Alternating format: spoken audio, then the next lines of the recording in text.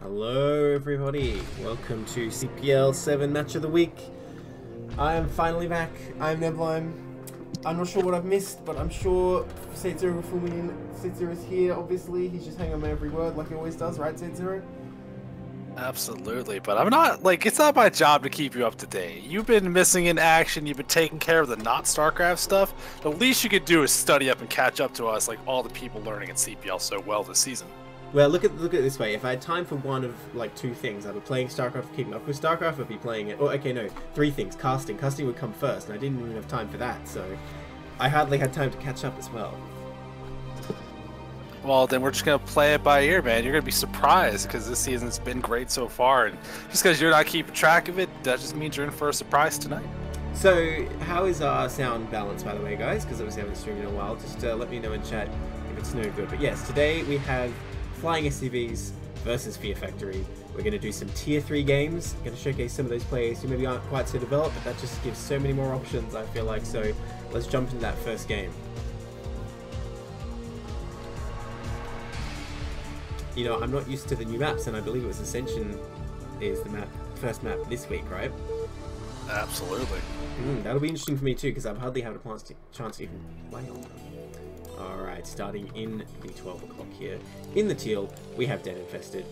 And in the bottom left, in the grey, we have Nightcat. TVT starting us off here on Ascension. Yeah. This was also top for spawn because these people are nice. Oh. They make sure they treat the casters right, especially since Nightcat has been doing a good amount of casting this season, more than the Blime. So you know we're gonna kick them out. You know, you're just gonna throw that out there. Oh, okay. I mean, like we're already in the cast. You can't kick me out now. People saying their blind's a little low. That's no problem. I'll turn myself up. That's what I wanted to know. All right. Did you just refer yourself in the third person? I said, are people saying is Nebline too low? You know, that's, that's what they're saying. So, Fair just enough. to recap, Dead Infest actually going to be in the blue Nightcat and the red. Because, uh, yes, as you said, he's on top of his bottom, and you know what, that grey colour I'm not a fan, so I'm, I'm going to switch it over. Oh, is he doing 8 depot? Is there a plan behind this, or what's going on, I wonder? Well, you're the Terran player. This is TVT. You know, like, I, I know pros pros. I can pretend I know a little Zerg Zerg TVT. It's a wonderland of I have. It's like Narnia, man. I've never been there, and I have no idea what's going on. Okay, so I mean, theoretically, you could be going for like a really fast gas and barracks here, a really fast factory here, but I don't see a purpose. I'm just going to assume it's a mistake, but I guess we'll see if I'm proven otherwise. This is tier three, so the opening build orders aren't always super solid we'll see we'll see what happens. Okay, going for an earlier Rax here. We see it's only going to be like a few seconds ahead of um, Nightcats. Okay, Scout coming out here. So one thing about this map, right, because you have no ramp, uh, and in fact the natural is fairly wide open too, this map is what you can call vulture hell in TVT, where you just have to make enough vultures to not die. You have to make more than your opponent, basically. Some maps you don't really have to. You can you can kind of go straight to tanks and play a game that way, but this map is definitely a, a pro vulture map, so you're going to be running around lots of them. If you don't, you may suffer. We'll see. We'll see what both players go for here.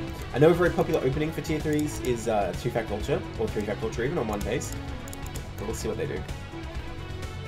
Well, I would also say like vulture is probably some good on this map because like the vulture unit themselves, sure, but there's so many paths, there's so much ground area you can maneuver around.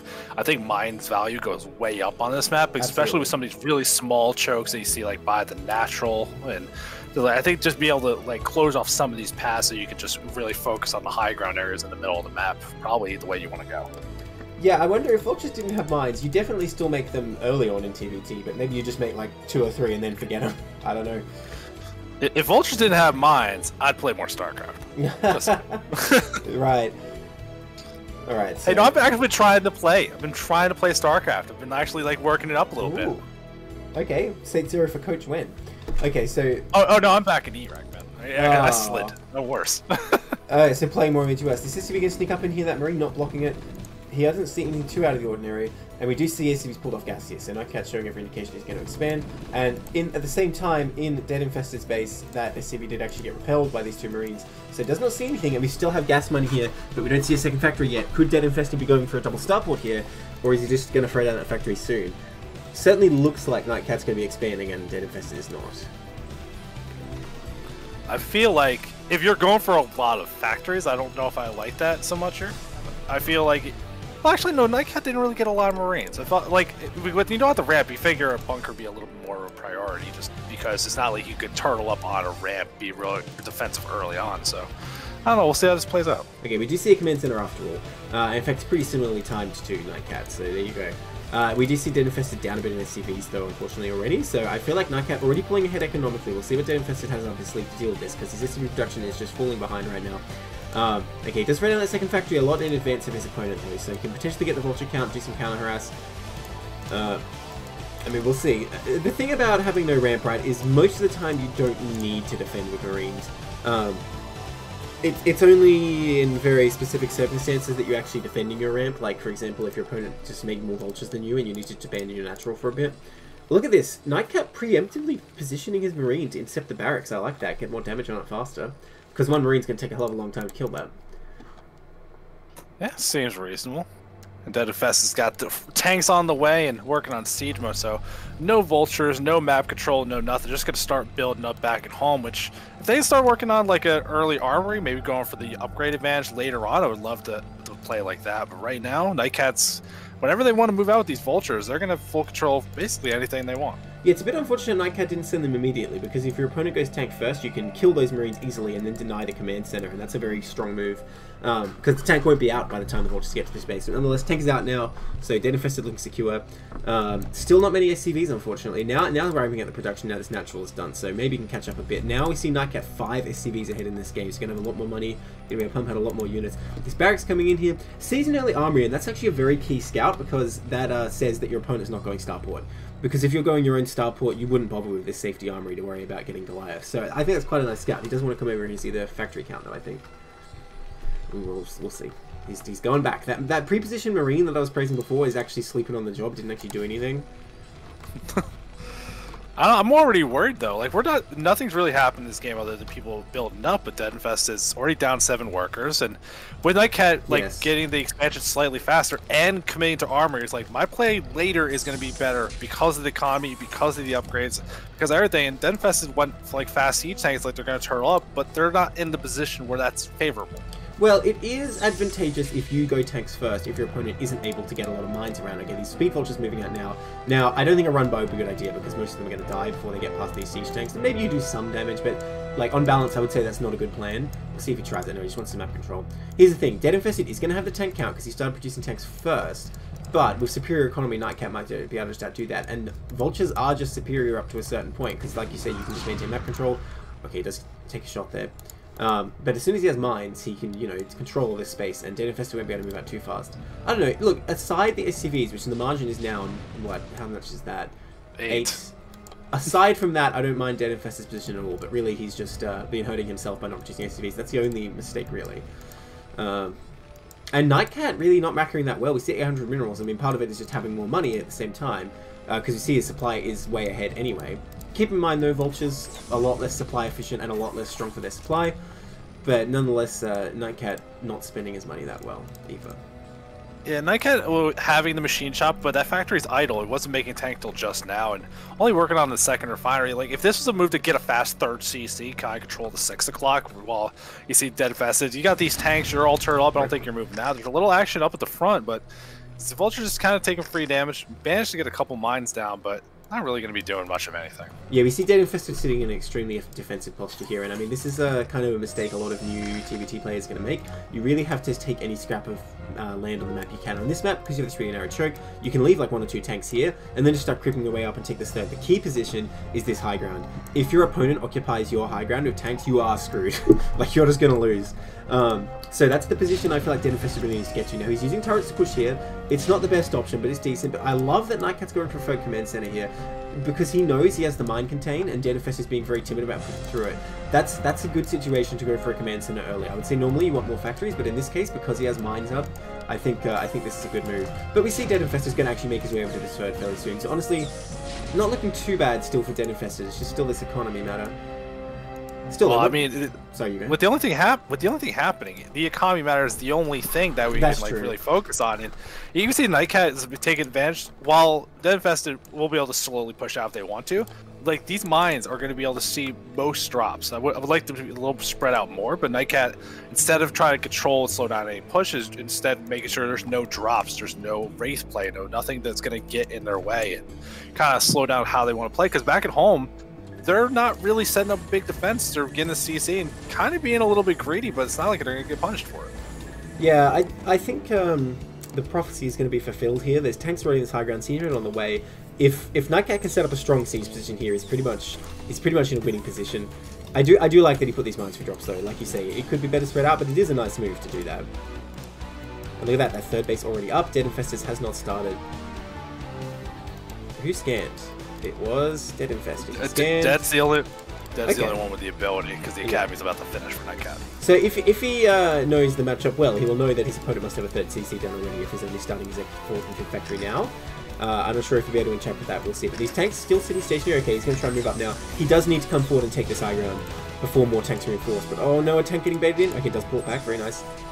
Yeah, you need to be aggressive in this scenario because you cannot let your opponent maintain this position. More tanks coming out. He has the units he needs, he just needs to get them all together and push up here. Ooh, baiting those vultures in. That is very nice. Gets some good hits. I like that Nightcat started adding a couple Goliaths to make sure that eBay can't move too much more forward. as They're finally starting to reinforce the tanks and really control this high ground pod. Yeah, now this is a bit too many. I mean, both players have a floating building here, so another player's going to have a building advantage. I would say at this point, this is when you have to pull the SCVs and just go all out to try and bust this position. Because again, if you don't bust this position, you pretty much cannot win. Because it's easy to stop units coming out the narrow choke at the natural, and it's very easy to stop units going past this left choke. And honestly, playing with dropships from three bases only is usually not a winning proposition, unless you catch your opponent off guard with a big doom drop. Oh, that SCV. I-. Sorry. Well, you're saying it'd be hard to push through the, that uh, choke right now, but if Denfest moved their barracks to the left, there's nothing actually blocking that choke. That could be a way to get out right now, at least. There is a mine though, so uh, I feel like Nightcat would know something's happening and immediately be able to block it. That's the thing. Even if you don't have any units there, the mine just lets you know that something's going to try and come through there. But yeah, we see we see Dead Infestor still to stay on the defensive line. Now this is good. If he takes out this barrack, he could potentially abuse the vision advantage to get up here. We see Nightcat researching uh, plus one armor, which you know I'm not really a fan of. You really want to go straight for plus two attack in this matchup because plus one armor does nothing to tank those tank battles. But there's no science facility, unfortunately, so Hmm. that is going to be a bit delayed. Do you, like, do you have enough time just to finish the plus one before you'd even be able to start Not plus if two? Or not, not well, not with the time he has his starport now, and not if you get the starport at a normal time either. I, I guess my answer to that question is basically you should be getting the starport at the science facility so that you don't. Still getting more Well, I mean- turrets, no command center coming up here. I mean, that's still, I think that's fair, but remember, this is tier 3, and this is a matchup that you're not going to practice a lot on the ladder. A lot of people like dodging out of this one or playing like a really aggressive, cheesy, we're ending this in 10 minutes one way or the other kind of game. So I feel like the fact that we got very conservative openers from both players, we're actually setting up into a mid game. This can really start slicing up the map and see who has the better positioning. This is not something that I would say tier 3 players really should have good practice on. Yeah, fair enough. I'm impressed with Nightcat though that first he placed all these mines to look for drops, and now he's actually checking for his secret bases too because he knows he's in a really good contained position. I would love for him to start a fourth base though. I feel like that's the only piece he's missing right now. His SCV count is decent, but he has a lot of minerals too. Vultures are never a bad unit if you don't have gas. They're pretty strong. And when you're in this stronger contained position, spamming turrets in every available path is not a bad idea either because a lot of the time the contained player will just make like 10 dropships and try some massive drop. Okay, we do see the third CC is going to come up here. I mean, so we see a lot of money from Nightcat. Is this the kind of thing where you could just throw down another CC, literally just for a Definitely. refinery? Oh, Like, th- don't even care if you ever take the minerals. You can I mean, it later. think just about get it the like refinery. think about it like TVP. If you have like eight bases or whatever, you want to spread your probes, right? You have like two probes in your main at the end of the day. You do that in TVT as well. If you're able to secure enough bases, here we go. Brilliant. Night catching the fourth. Nightcat looking so strong right now. Honestly, just has a much better handle on what he's meant to do in this matchup. I think where he's not he's not trying to push in here. He's just going okay. I have this position where my opponent like can't break it. I'm just going to keep expanding on the map. Check my opponent doesn't have any. Even setting up drop defense. Look these SCVs in position. So Nightcat looking like he he really understands this matchup. Whereas I feel like Dead Infested, you know, he, he doesn't really have a solid plan here. His SCV production has been very poor, and now I'm not sure how he's going to get out of this contain. Oh, we got some lag. Did you miss me, guys? Lag. Uh, yeah, back from Australia. It's okay. Now, something that, like, as the observer, you're not checking around for it, but I'm always keeping tabs on it. If you just flash the vision of the two players real quick, Nightcat sees everything. absolutely everything. And Den Infest is literally he got his bases and nothing else. So Nightcat it can be as like, greedy as they want to be right now. They can be getting whatever tech, and I see a lot of scans going down. Just keep an eye on what Den Infest is building up to if they're going to start making a lot of starports or anything like this. And Hold up, People really like the stream is dying. Um, Anyone check? Can you hear yeah. me? Can you tell me the stream's? Yeah, it's yeah, it is uh, kind of choppy. At uh, okay, it, look, it, looks better now. I think it's back. Sorry guys, I just had a lag spike. I'm not really sure what happened there. Okay, well, if people in the chat let us know if it's still that, we can pause and try to fix it. If let us know if we're all fixed, it looks better now. yeah, least, I think I think it was just a lag spike for no particular reason. Um, well, the reasons you're in Australia. Oh, yeah, I guess so. Uh, the, the I don't know if people heard what I was saying, but I was basically saying I think Nightcat's really doing a great job just expanding while he's containing, putting turrets to stop drops as well. Um, and I don't know if Den Infest really has much way out of this. Okay, he's making a few more SCVs now, but still his count is extremely low. Literally Nightcat would double the works almost. Still though, he's not well here here's he, here's a move that will pay off eventually, but I, at this, by the time it does, I think it might be out of control. Physics Lab on the way, going battle cruisers to kind of yeah, break this line. That could be a move, but it's so I slow. thought I thought he would do this, but the, on three bases, I don't think this is the play. Um, and like I feel kind of bad about this because I feel like this is gonna give Dead Infested the wrong idea of the matchup. Like, oh, I only lost because I didn't go battle cruisers soon enough, or like, you know, I didn't micro my battle cruisers, which is not what's happening here, right? He's losing because A, he didn't make SCVs, and B, he didn't uh, try and take the position on the map, like this key position in particular, and like the battle cruisers are just like a symptom of that. Like, I don't know, I, I, I'm upset about this. we'll see if he can well, make it I mean, work. I, I do at least like that. It's an attempt to do something. Because yeah. if you were just going to try to go ground army and try to fight straight up, then if never breaks out, he ends up slowly dying. This is at least a move to maybe shake something up, but Nightcat's already in a good position. Has, I like this though. I, like, I, would say there's not enough. There's not enough anti-air by the army. That'd be the only thing I'm looking at. But like realistically, Nightcat's. What do you mean? He has like 11 Goliaths. Well, I mean, if you like, I guess you can't build in that high ground pod. Like no turrets. No, you can't. No, you cannot. Oh, that'd be broken. Yeah, it'd be great if you put like 20 turrets there. Dude, imagine TVP. You just like come up here. You, you do do two fact, but you don't even go in the natural. You just start building up here. Wait, just wait for Protoss to leave. What are you talking about? I love I love two TPS map. There's no ramp ramp to defend your main. It's true. It's true. So uh, Nightcat still just putting more and more turrets here. I think still anticipating drops. I don't know if he scans uh, the main yet. I guess we'll see if he does. Um, no battle cruisers coming up just yet. Oh, because he's supply blocked. It's going to be some time before those are operational. Looks like Nightcat continued to expand though. Doing a great job there. Only two on gas at this fourth. Okay, there we go. Fixes that up. Very nice. So yeah, Nightcat continues just like mine the whole map while, while Infest is sitting here on three bases. So just ranking up, racking up that money. All right, so let's let's uh, let's talk theory, Mr. TVT God. You love this matchup. You're very good at. Well, well hold on, hold on. Nightcat's gonna try and come in here. Theory's over. It's time for practice. But I don't know about this. There's so many tank siege up here. I think Den Infest is gonna smash this attack. What's the upgrades? Both players on 1-1. I don't know, I, I, think this is a big mistake from Nightcat. Oh my gosh. Well, he killed some tanks on the left. Is he hitting that CC? Ooh. Okay, Den Infested needs to push back to reclaim this CC, but I think he should be able to. Because, uh, he just killed so much stuff. Even these vessels falling, they cost so much gas, but the CC is getting lower and lower, and it's still getting hit by these four tanks. He needs to either lift that or push back and retake this location immediately. His economy is so poor, he really can't afford to be losing that CC.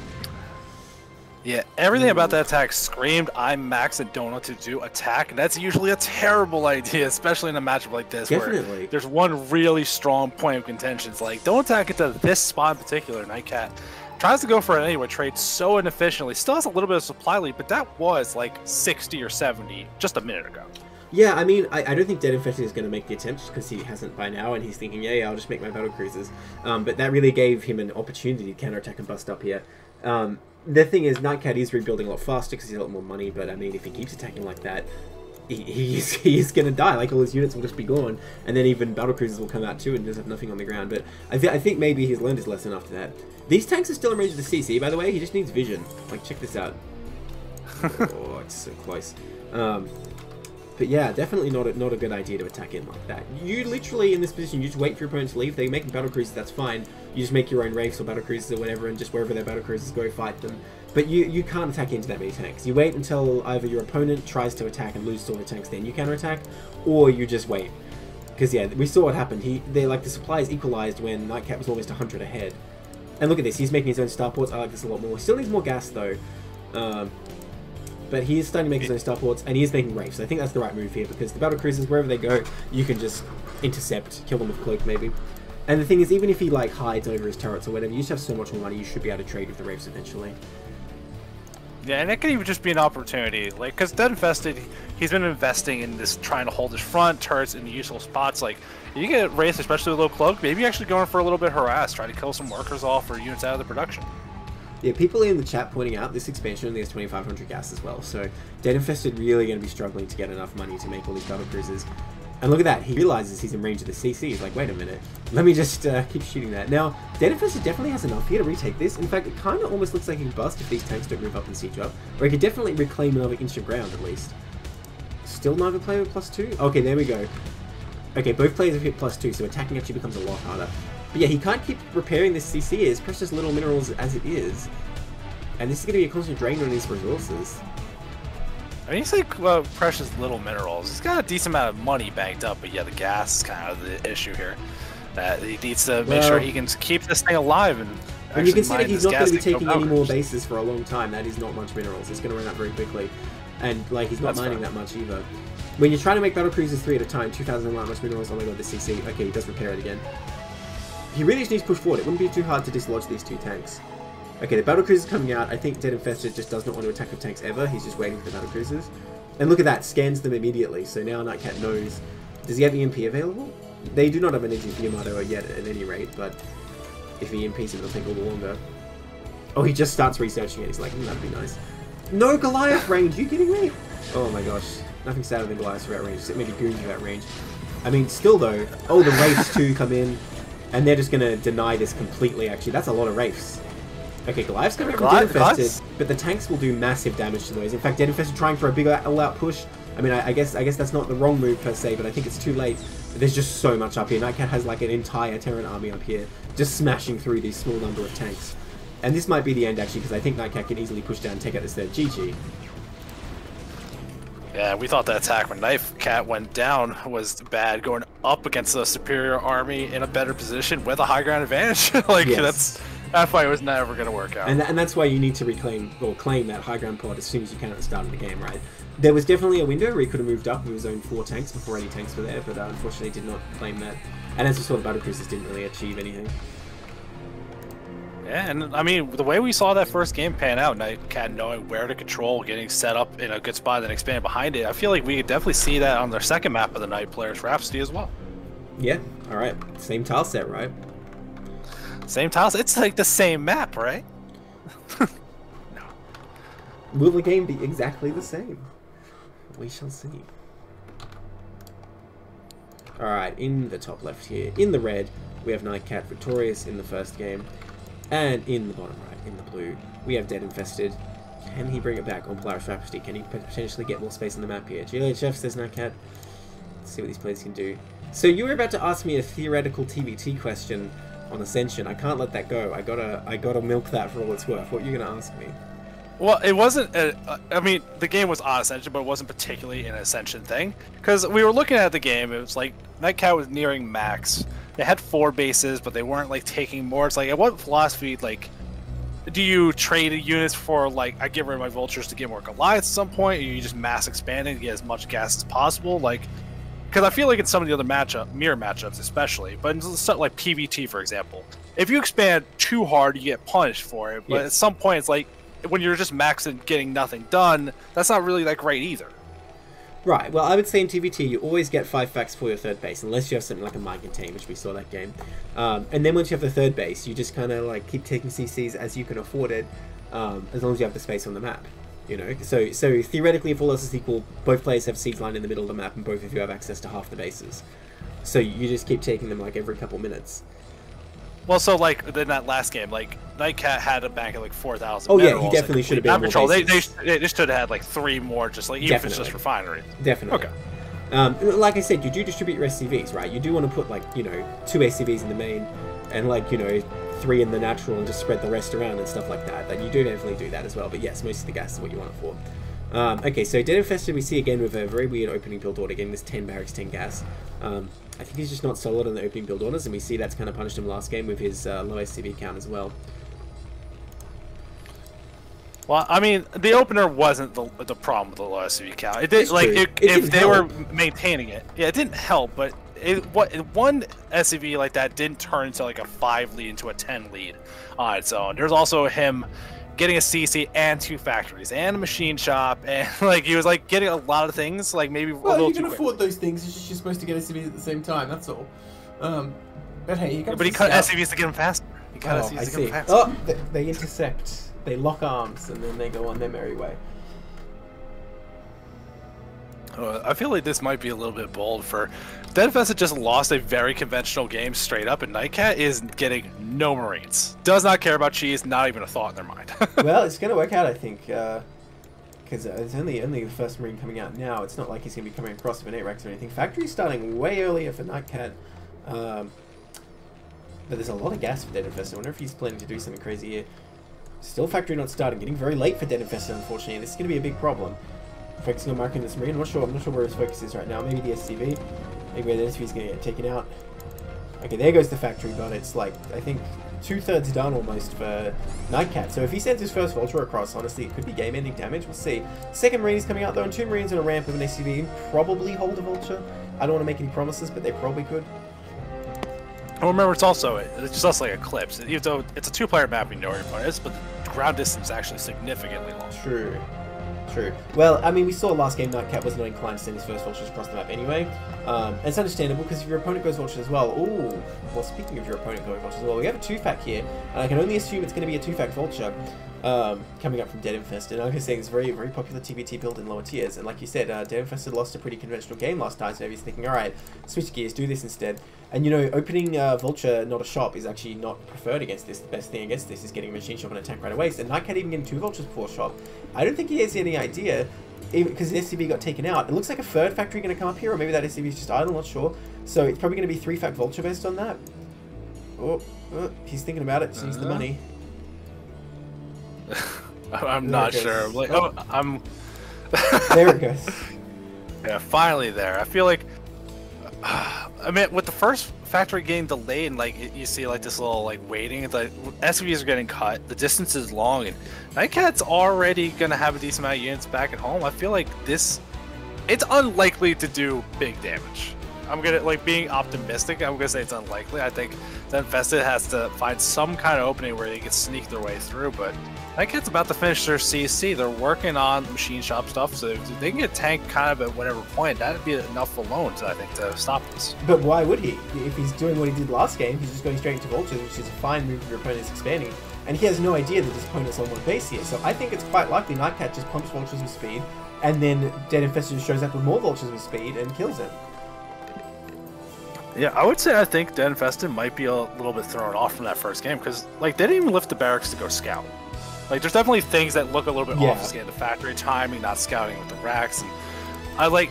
I, I wonder if they are trying to hide something here. It's like trying to catch like an element of surprise that they get like a, at least an advantage position. But see three vultures moving out here. The fourth one's gonna be lagging behind, but like speed's about to finish, but that means it's not mines. And Nightcat's moving out. They have more vultures. The Vulture's actually spreading out for Dead Infested as well. Oh no, he's going to lose one right away. Not even on attack move. Okay, it is just a wild stop.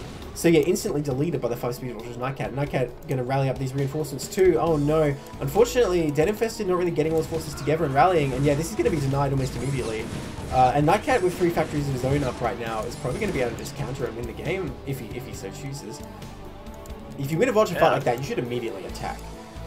Because if your opponent went tank, you can just run away, and if your opponent did go tank, you can go win the game. Um, so he's going to do it. Okay, but uh, Danfest does still have the ramp here, right? Because he doesn't have a CC to defend the low ground, so he can at least hold that. And I, I think he has enough vultures here, especially with the Marines. The Marines actually got excellent DPS, they're just very squishy to vultures.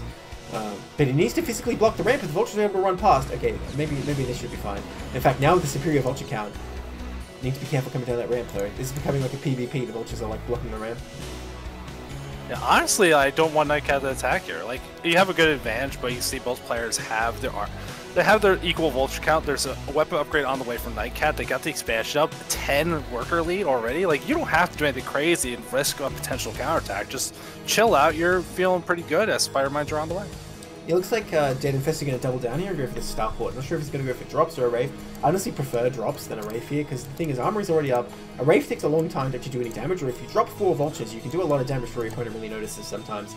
Um, but we'll see what he goes for. Either way, it's going to take a long time. And yeah, Nightcat already with his second CC is looking pretty strong. Needs several factories, I think, though. Like, getting a Starport of his own instead. Honestly, if Nightcat starts making Wraiths, uh, Dead Infest is pretty doomed, I think. But we'll see. I mean, that's the move I would like to see. Like, drops make sense from Dead Infest's position because the mains in this uh, place are pretty big, especially behind the minerals and the natural. Like, if you're not really keeping good eyes on everything, you could definitely put yourself in a bad spot. Seen a lot of mines go down, which I mean the vultures won't trigger, but if the marines ever move out, that he could be a little bit of an issue. mines in the natural. That's what you have to do here to a stop the CC and b stop tanks coming down here. Because the thing is, if Dead Infested was switching into tanks this whole time instead of making vultures on starboard, he could just come down here and siege no problem and take his expansion, and you kind of not exactly wasted these mines, but you could have stopped that. But now this barracks in here is going to see everything, and this feels terrible when you're like, yes, drop, and the barracks just floats in like, oh, drops is it? Uh, so I don't know. Is he going to get Cloak and a Wraith instead? Okay, he's getting a dropship. These two Marines trying desperately to stop it. Do we see a Wraith coming up? Because if a Wraith can just shoot down that dropship very well. Not yet. Yeah, I mean, so staying in the barracks, like getting all the info they need here. Dead Infested not even attempting to take another expansion or anything. And like when you know the drops are coming, like how's this gonna do damage? But I mean, Nightcat back at home, it's not like they're they're starting to make allies. Never mind. Like there's just nothing's gonna happen here. This is just unfortunate. Yeah, Oh, these vultures are going to try and come up here. We saw Nightcat get a bit antsy in the other game. Oh, he wants to lay mines, but he doesn't have that many left. See, these are the mines you need. But coming up here, I think, is a huge mistake, because there's plenty of vultures dead infested, but he did catch them all and move commanding into the dropship. Nonetheless, I think this is a complete slaughter for Nightcat. Oh my gosh, Dead Infested actually up in supply again somehow, despite having like 10 less SCVs. 13 less SCVs even. So now, Dead Infested could hit with like a, a, an attack at the front and a drop in the main. These Goliaths are out and they're very effective against Vultures, but he, they can't be everywhere at once. Or at least he could try and expand now. I don't think those mines actually block the CC, sadly.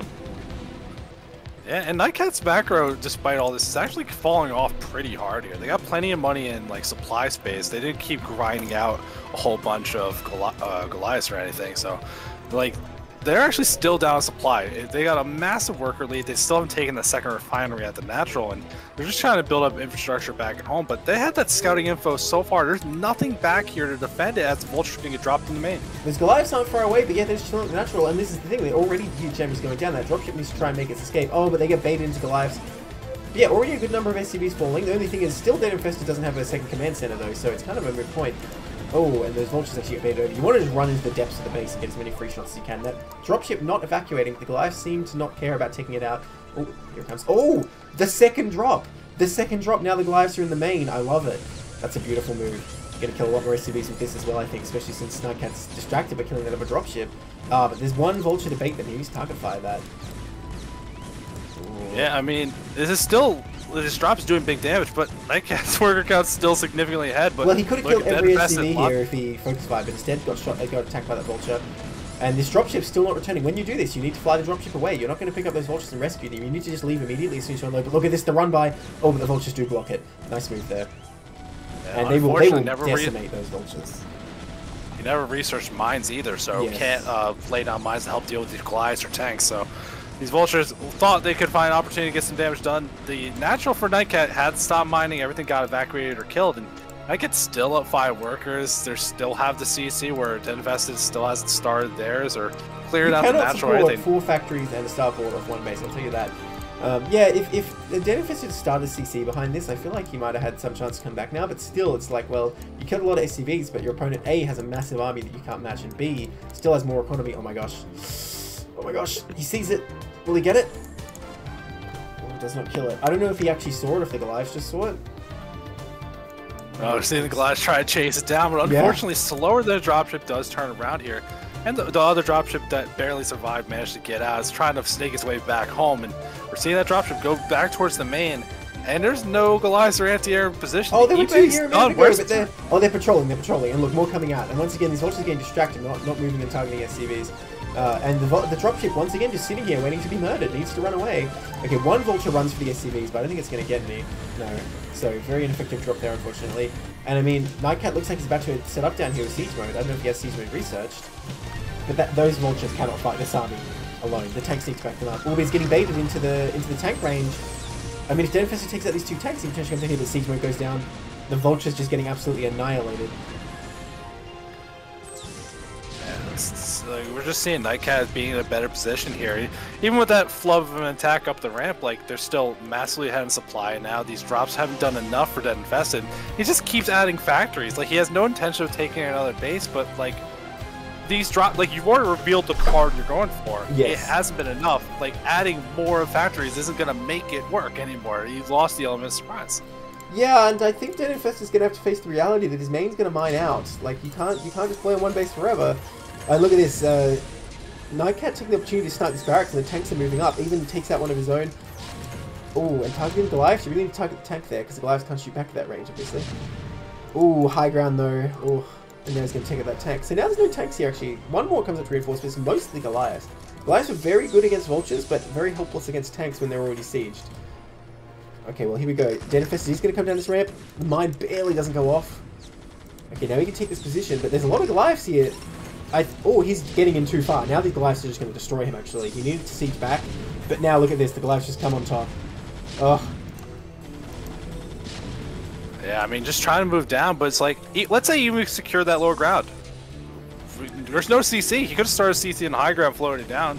It's not like he gained a window into his natural to do anything effective, and now all the unit at his ramp are dead. These guys can move up here. Yeah, he's that on the scouting ability now. finally killed off. Yeah, like how do you get out of this? I These don't raids think are it's going to do possible anymore. absolutely nothing with like mostly Goliaths being made. And look at that. It, it's gone. It's gone. He never even existed. Wraiths do not last long. I mean, it got made. It hit the field. You could say I tried to play Wraiths and it wasn't enough. And Deadfest is going to tap out of this one, and unfortunately, didn't hang up, uh, hang in there for too long. But Nightcat takes a pretty convincing 2-0 win in a pretty hard matchup to play. Yeah, I think Nightcat just had a, a, way better understanding of the matchup, to be honest. Um, whereas, you know, I think the first game, Den Infested kind of had a vague idea, like, I'm just going to make tanks and expand. But then the second game, it's like that fallback thing a lot of people do. Where they're like, all right, screw TVT, I'm just cheesing. But that's the thing you can't really in TVT, It doesn't really work. It's not a matchup that cheese is effective in. No, I think if you were going to cheese in TVT, you eco cheese, you CC first. Sure, I'm, I'm fine with that. But the problem is then you're still facing the problem of, like, you don't know how to play the positional game, though. And the same sort of thing is probably going to happen, to be honest. You Yeah, CC I mean- first and then go into, like, three-port wraith or something. That's how I think that would still just be. It's a hard matchup, and I feel like because no one wants to play on a ladder, especially like if you actually get into a game, you don't want to play like a 30 minute ladder game for like 12 points or whatever. Like, it's just, That's it's how I feel rough. about TVP sometimes. Ah, come on, killing zealots is fun. And speaking of zealots, we're gonna get to that second game, and you're gonna see lots of zealots. Maybe it's pros versus pros. Alright.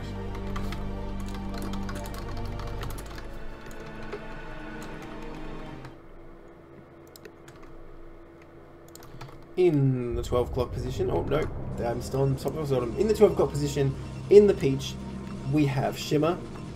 And in the bottom right, in the navy, we have Champion. So it's the day of mirror matchups. PvP coming up on Ascension. Now, this is a matchup where no ramp is very impactful. And in fact, this map is kind of hell now I think about it for PvP. My god.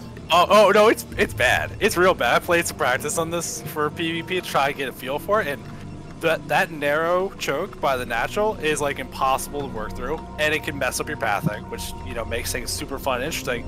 But because out, if you're gonna go the smart way to attack from the ground, that high ground pod near the natural, near the third, is a great spot to set up dragoons and Yes. reavers, just the most obnoxious stuff. Yes.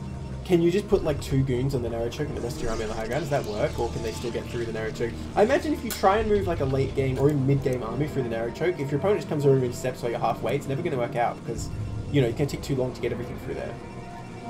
But yeah, it's the same thing as like like Overwatch back in the day, trying to move across that narrow bridge. Yes. Even if there's nothing in your way, your army's not getting through that cleanly, especially Yeah. not your goons. you know yeah, what I mean? that's true. But you're also funneled together for Reaver splash damage or any kind of like storm. And like, and once you get to that point in the game where you have two bases and you're moving things forward, it can get really confusing. But getting there might be just be hard because there's no ramp, like you said on this map. It makes it a little hard to defend against early aggression. Well, you know the curse of CPL Tier 3 Protoss versus Protoss is you never get to Storm. They might get a Templar Archive, they may, might even make a High Templar, but you will not see a Psi Storm. We'll, we'll see if they can break the curse. Unfortunately, Shimmer not parking the probe correctly, it's kind of stuck down here in its corner, still doesn't know where to go. He's, he's looking Yeah. over that cliff like, oh, if only I could see into the enemy base. If only I was playing against Shield Battery. Yeah. Alright, here it comes. Oh, nope. He's yeah, so unfor- un- unfortunately, not really sure where they're going here, and that's one of the things with these kind of maps that aren't on the ladder that haven't been CPL before, not in a while, if anything. That it is you have to figure out what you're doing here. So missing these scouting opportunities can be really bad here. Let both players kind of blindly. Their opening's not looking too bad here, but you can see uh, champion going for a zealot before the uh, cybercore is on the way, and Shimmer finally starting theirs, but they're floating money a little bit as well. Well, we didn't see Champion send any scout, which is concerning. The Zealot is out, but it's just chilling. Okay, here it goes. Um, now the scout gets in for Shimmer. Oh, don't lose that. Don't lose that. Alright, keeps it alive. I mean, there's not too much to see at this point in the game. I guess you see your opponent didn't go 10-12. Is he going to leave? No, don't leave. oh, so he barely finds anything and just goes home anyway. After that quest to get into this base. I mean, even this is a little bit useful info, knowing that it was Cybercore, not the double gate opening, the big zealot pressure. Knowing a little bit what you're expecting is not bad here, but you could definitely stay in there long enough, see if they're researching Dragoon range, see if they're adding on extra gateways, or you could stay alive long enough to see the Robo. All that kind of stuff would be very useful in this matchup. Mm. Well, okay, the Zealot for Champion going the wrong way, which is uh, kind of a consequence of not scouting at all. I think it's uh, pretty pretty ballsy not to scout in PvP, right? Because, like you said, that 10-12 exists. Proxy Gate's not necessarily unpopular. Like, I don't know. And now this Zealot is, like, just wasting its time. In fact, maybe two Zealots went straight into two gates here, but not able to put any pressure on. If this Zealot was here right now, I don't know. I mean, it is an enemy Zealot, so probably wouldn't be able to do anything, but still.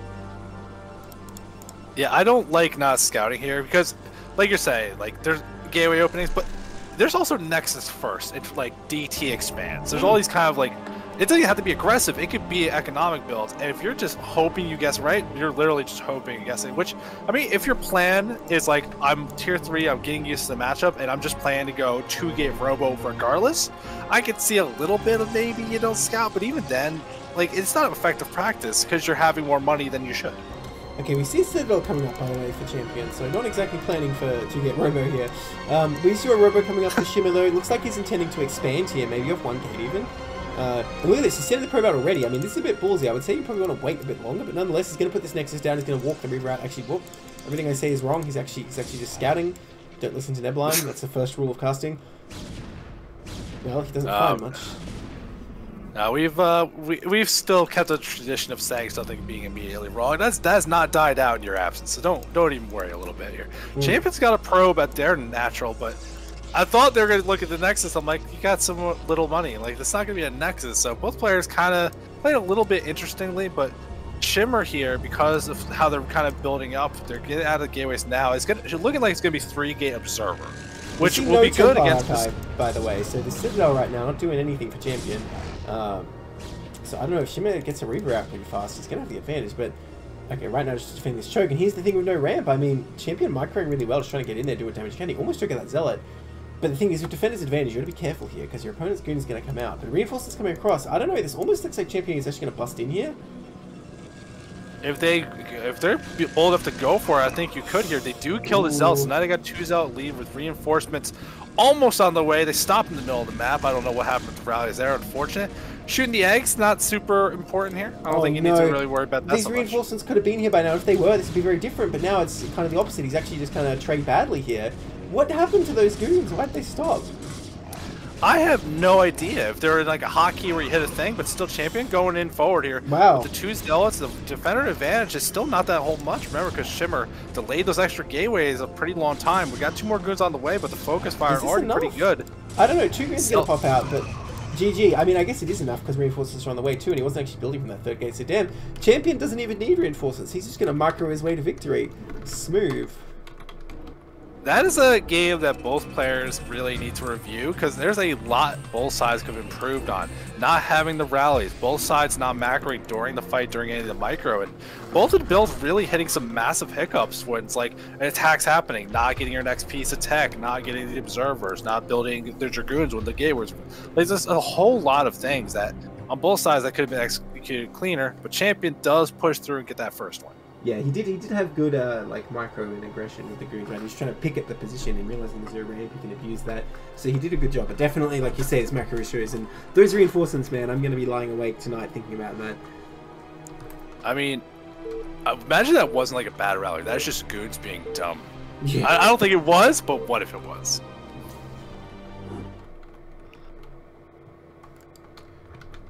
All right, in the top left, in the purple now, we have Shimmer.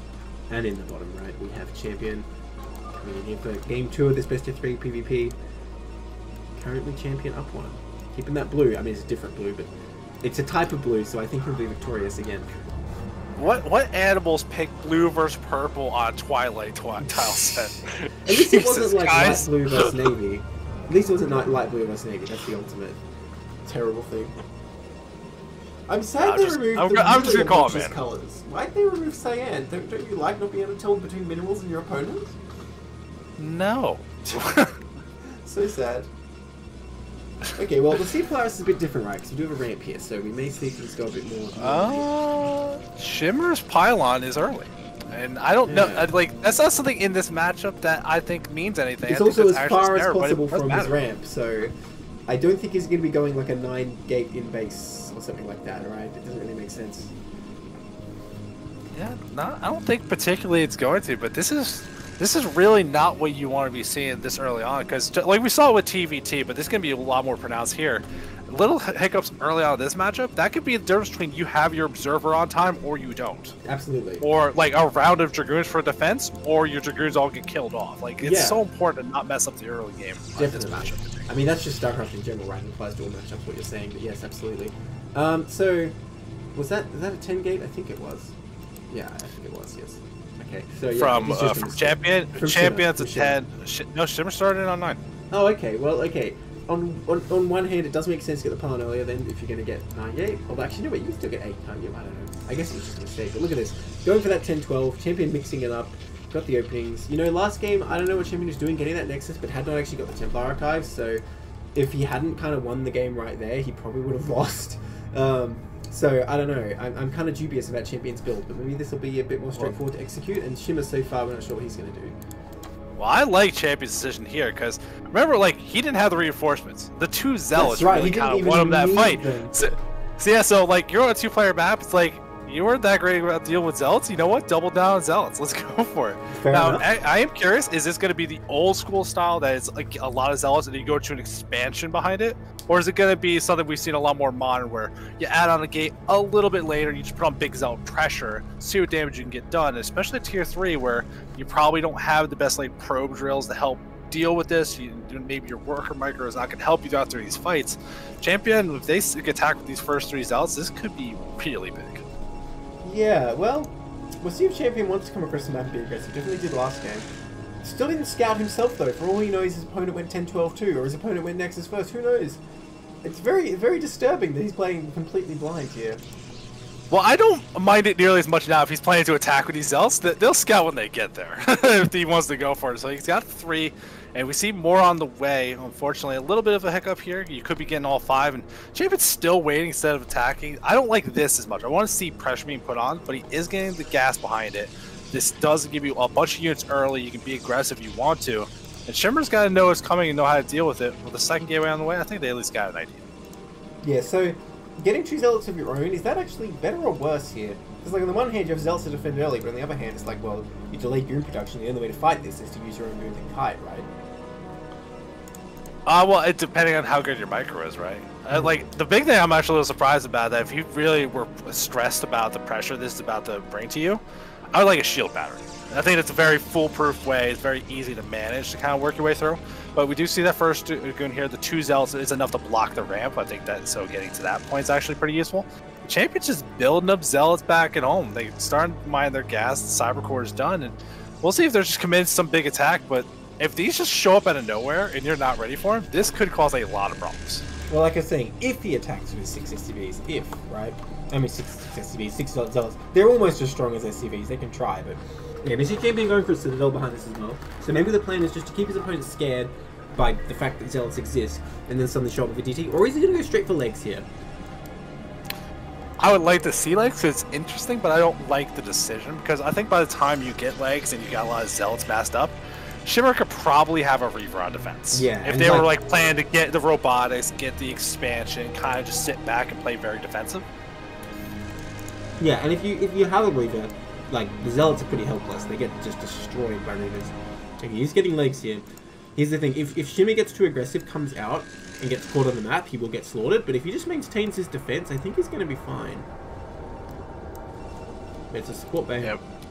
But this Ooh. will, at the very least, um, make sure that you have map control. This could, this attack, even if you can't bust through, you don't feel comfortable attacking. If you see no nexus, you take your own. You got playing units, and then maybe add on more gateways, go straight into a lot of dragoons, play a big ground force that isn't relying on shuttle reaver that kind of stuff. Know, Forge in the West, champion at least respecting that he doesn't know what's going on. He's gonna have a cannon up in time for detection. Although if this is a really dedicated DT rush, he would be too late. Yeah, uh, I mean, but the thing is, he's blocking the ramp, right? That'll buy him the seconds he needed. He'll be he'll be fine, I think, if it was a really dedicated DT rush.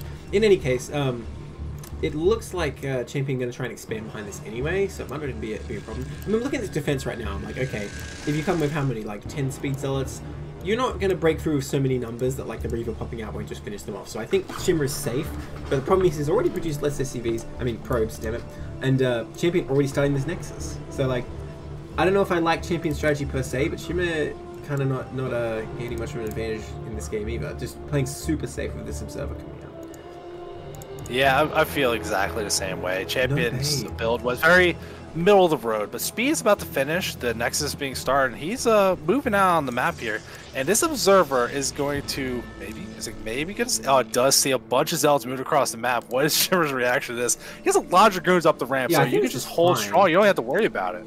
Yeah, he's pulling a probe. I don't know if he's going to hold position in, in place with that.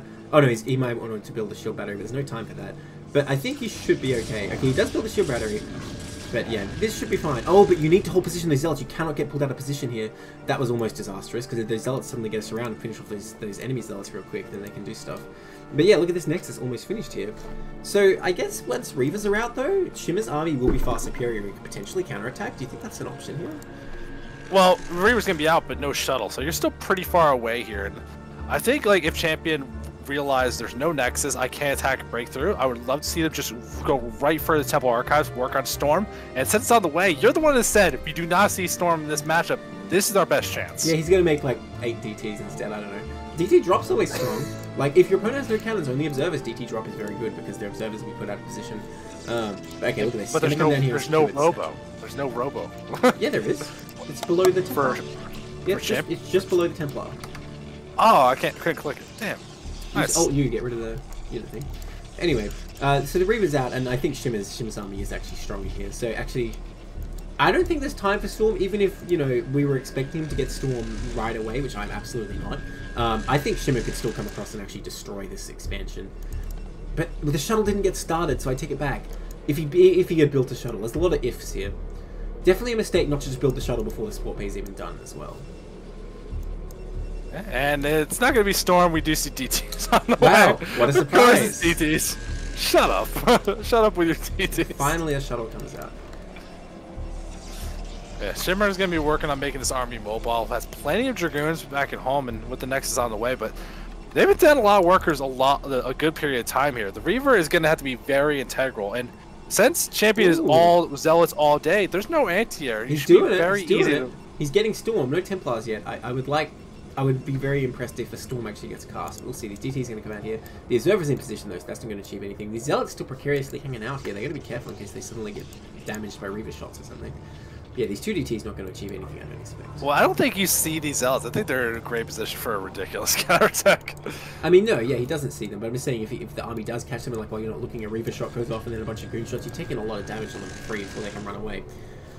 Okay, next is Oh, finally here, finished. here, co- here comes the shuttle with the Reaver. Going for harassment instead of a dedicated attack, keeping everything back at home. And with the two DTs here, here comes all the Zealots. The Dragoons up in the front. Zealots not here to help, and no Reaver as well. So the Observer's going to see the DTs, but still it's a lot of DPS. But Champion doesn't feel very confident. Gonna back off. Does get a little bit of damage done, and I was I actually think you could have muscled through. I wanted to see him keep Yeah. attacking there. I don't know if he would have won the fight, but it definitely would have been a good trade, I think, um, without the Reavers there. Nonetheless, here comes the. Cannon's already in position, though, and in the main, too, so I don't see this doing too much. Oh, he's going to fly right into it. Oh, oh gosh, you can't be doing that. Okay, he does turn back, though. He doesn't lose the Reaver, but third base coming up, but there's only up here already. Hmm. Yeah, that's in a weird spot. That doesn't get explored for a while, but I still don't Well- like that. I still think the three, you can block off the entrance to the three. That's the way you want to take. If you're going to take an expansion like this. Well, This is almost on the way. Further from your rally point, right? I'm thinking if your army is positioned like kind of here in front of your bridge. I guess you can't see what I'm saying, and this stream can see it. If your army's positioned kind of here, it's going to be easy to defend uh, defend that third as well. Whereas the uh, three o'clock is so far away. I feel. I don't know. Maybe. I don't know, like the the three o'clock, you're uh, like two buildings and a couple cans away. You don't even need units to defend that. I don't know about that. Reavers exist. Oh. Yeah, Reavers exist, but like by the time they get, okay, yeah, you'll lose their. Okay, whatever. It's still, I think it could have been fine here. But Champion is staying a probe up to the top right. Maybe gonna take that double gas base in the corner. Yeah, well, this probe going to try and take the uh, other mineral only, but uh, oh no, he's, he's he's going to the top right as well, but not going to happen today. Okay, here comes Shimmer, and like honestly, if he gets his army together, like he can crush any one position because Champion's army is completely split. This DT going to try and get in? No observer with this army right now, but a lot of damage goes down to the zealots. They do retreat here. Shimmer's Yep. worker count is still far, far below Champion's, so that's that's definitely a big problem, especially if he's looking at taking a third base. I mean, look at this natural. There's hardly any probes there at all. Um, so Champion just macroing way better now. You can see it shows in supply. He's 30 ahead.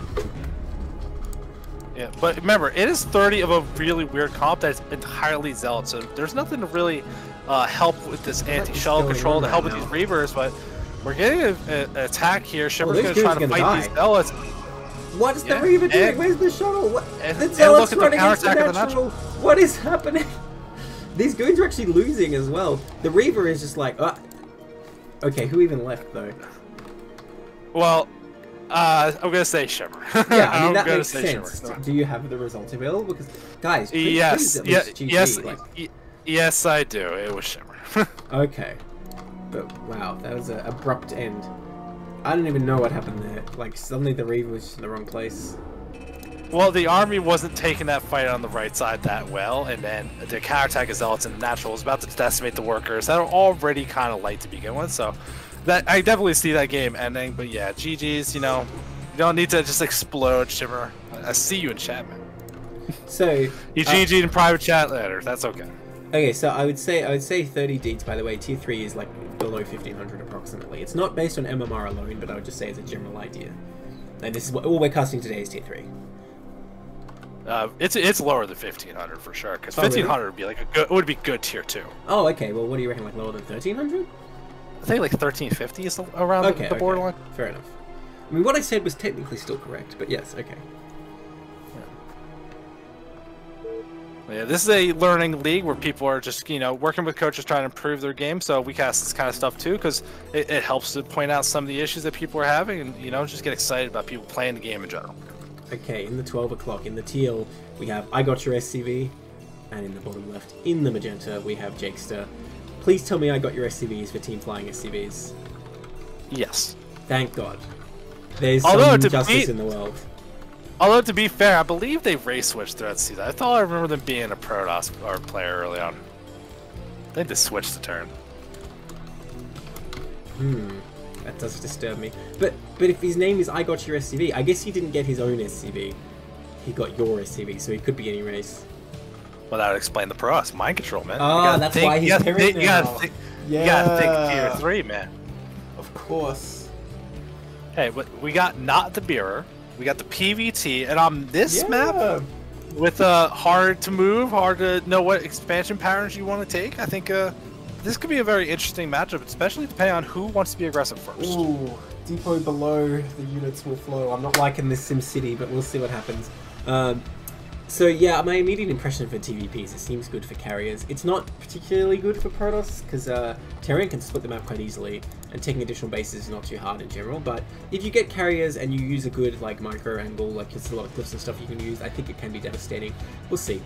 And the thing is, it's actually quite hard to do a, a two-base push, I feel, because you have this massive high ground above Protoss' potential third. So, so I think carrier is a pretty solid option. Arbiter, I'm very dubious on because I feel like Terran has an easy time splitting the map up. Uh, see, I I mostly agree with that. scout. I like that. Double yeah, scout, no gas. Okay, there's gas. Where's the barracks? What is going on? Oh my god. Tier three play is what's going on. Remember, this is a, a Yeah. place where people are learning. Sometimes it's the macro that needs some help. Sometimes the build. You gotta work through your coach a little bit. So this is definitely a little bit unconventional. There's really no reason to go gas before barracks, right? Not really. Uh, you can go like just before, like literally get your barracks like before any more SCVs or anything, but yeah, not really. I think maybe he just forgot. Oh, I don't think he's gonna realize until he has 100 gas. This is very unfortunate. Okay, no, I think he's gonna go build it now. There we go. Alright, so on the way, no big deal. It's is you he? know, well, Oh, we- oh there it is. we Where fixed is it? Where the hell is it? he? At the bottom, he's going crazy. Of course, of course he is. right. Okay, well Hey, you know what? uh, This this wall is actually perfect if you can put another depot there. I assumed he was going to build a barracks, but since he's not putting enough depot, that's actually totally tight. So he's not planning to actually build his factory in here. He's going to build it down here. Is he going to proxy two factories or just one? This is friggin' wild right now. The probe gets here and he's probably just like, what the? Why is he building a second barracks there? What is going on? Is that just a fake? Well, I, I think it's the fake, but Jakester should click that and be like, your barracks is barely started. My I have a be production. finished. You're doing. It should You be are finished. doing. Yeah, you are doing shenanigans. I hope he cancels it though, because it makes no sense to have it here. Unless he wants to build like one marine in a bunker, but then it's like, well, why'd you build this other one, right? Okay, he's just building lots of barracks. That's all we're doing. Okay, okay. is, is is this the Liquipedia legend Deep Six? No, you're supposed to expand normally with that. So he's still mining gas though. What's the gas for? Because he doesn't have an academy started. I would say you get two racks and, and then an academy if you're going to do that. Like you don't get three and then an academy. So I don't know what to think. Yeah, I'm, I'm a lot. I'm lost on like all fronts here. There's one Dragoon that's like inches away from seeing this barracks and be like, dude, what are you doing? Oh but my he's god, gonna he move across the just map. as the oh, no. comes down. Are you kidding me? Oh my god. Oh, this, this is tragic. This is tragic. Okay, so Jake's over here trying to do a normal 23 next. Just like, you know, tying his shoelaces, looking both ways before he crosses the street. Little does he know, like in the bushes, Jakester is here, like with his shirt off. What a bunker he has to. See, the problem is bunker doesn't protect these depots. Even if you got marine range, the goon can still hit those depots.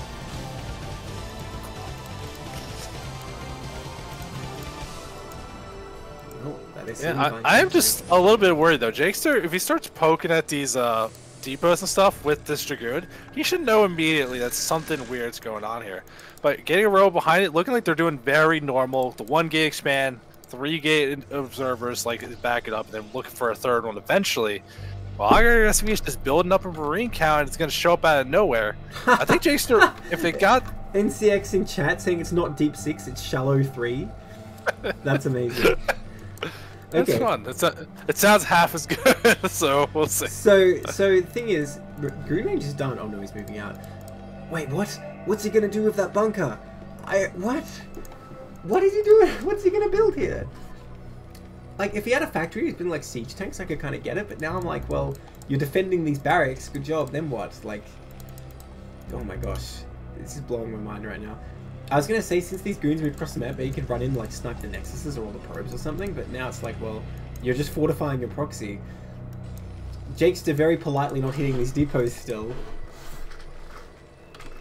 Yeah, I think we um I think we're seeing the birth of like the next Terran Barisu, just monster kind of player, showing up with all the Marines finally, pretending it's StarCraft 2. Moving forward, Dra- Dragoon does die almost immediately from Jakester, and there's no units here. so this Yeah. Nexus is definitely gonna die. You're gonna lose the expansion, but honestly, you move it to the base. How do you survive this attack? I think this is gonna do game-ending damage. Well, he can block at at his own base. though. the goons are finally knocking down that wall, and like two goons with range technically can kill this if you micro well, but it is tricky. And that one marine is like, no, I'm getting right in there. Oh, he's dead. Uh, but at the same time, Jake's still knocking down the wall on his opponent's base. The factory finally going up. A lot of Marines coming in here, and it's hard to micro this. Support bay coming up, which is actually perfect because Reavers would decimate this. But I mean, the Goons are falling. He's not marking them completely. Trying to run past this bunker, but actually taking a lot of damage. These Goons will fall if they try and fight that bunker head, head on. It looks like they are going to do that. So many Marines now, and the Zealot rallying out is going to get taken out almost immediately. Okay, this bunker might actually fall though, but I think the three Marines will actually still win the fight. Oh, maybe. It's going to be very close. Any, in any case, one injured Dragoon is not going to finish off yeah, I got your SCV, and he's, he's working on these pylons. Only Zealots coming out, but that's not going to help you. Zealots are like one of the worst units in this scenario. Has he done it? Is is is I got your SCV going to win with the shallow three? Honestly, if SCV just start killing the pylons, they depowered everything. That's Yeah. all you would really need All here. do is depower Robo, right? The Reaver, the Reaver is on the way. There is an opportunity if he moves up there when it pops out before it has the first scarab. You can go kill it, but you can see now starting to do the probe damage. Still working on the Nexus up in the natural. So big damage here. Is a little could have been much more effective if it was focused a little bit better here. We're seeing another pylon go down. Lack of focus fires. That Reaver's about to spawn. What's the reaction gonna be from Terran? He's that Reaver. Well, maybe none. Oh, he's building his scarabs. The murder can. Yeah. Okay, so Protoss will technically survive. That Nexus isn't even dead, so like, he is very down on probes, but I don't think necessarily behind in this game. If you can get a shuttle out, Terran is going to have a hell of a time defending. I don't think he even could possibly defend if a shuttle gets out. That SCV doing its goddamn best, but not quite going to take out that Reaver. Get him! Yeah. No. no. But Marines continue come in here. Actually, you know what? Does is his economy ahead enough that he can trade Marines for Scarabs? Probably not. I don't think he's that ahead. Still, though, it's a, it's a drain on Protoss resources. Oh, he does get that Nexus. Nicely done. Honestly, if you trade Uh-oh. one, like one, like, as long as it's not splash and kill multiple things, like you can. Oh, you can see trying to go through the vulture staying alive. That Reaver's health is getting though. so low. He's not It's got so many kills. Only one Scarab left. He's not rebuilding them. Uh-oh. Now he has no shots left. He's actually going to get taken out. And that's all he had. And Jakester's supply blocked here too. Well, you don't need to So without that Scarabs, to be Reaver, he doesn't. but- Yeah. Oh, Oh no. wow. Oh, it doesn't micro that vulture though, so Zealot's going to save the day. The game goes on. Whatever confusing state it's in, the game goes on. But three factories up right now. I got your SCV came into this game. He's like, command centers. That's not what I need. Get, get that out of here. I need I need other buildings. That Barrett, that bunker still existing. I'm not sure what benefit it really gives, but yeah, these Marines continue to rally in. I mean, Zealots won't stop if he doesn't even have a which he's building. He did ribble a few probes as well. Oh my god. What does this Marine think he's going to accomplish? Okay, now there's two Marines. Uh, different, but he's still. he's tickling the zealots, man. He's showing them what's up, and these uh one zealot's actually quite low here, retreating him into the bunker. So Jake's not paying attention, takes the big damage here. Observe it What? snuck out. Not sure when that happened. But yeah, I guess It finally out off. forever ago. It was, it was that a while ago. It just didn't do anything, unfortunately.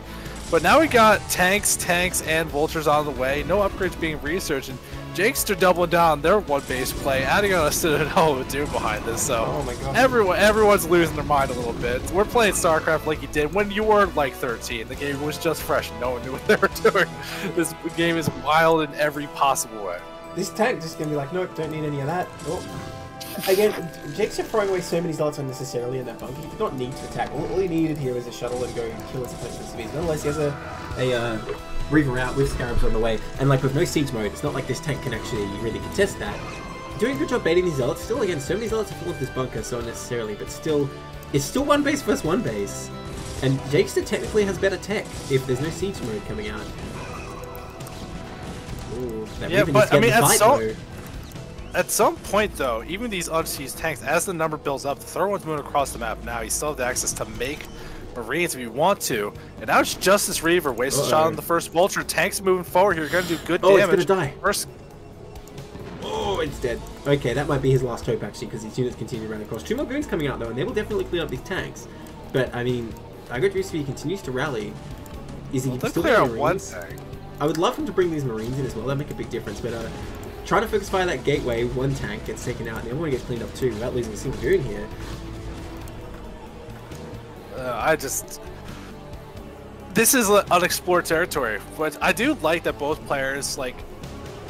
You didn't think like SCV's like, oh, I didn't kill him. I don't know what to do. They're still trying to make. Oh, they know still what to do. They're just gonna kill him. They- They're gonna keep killing until he's dead.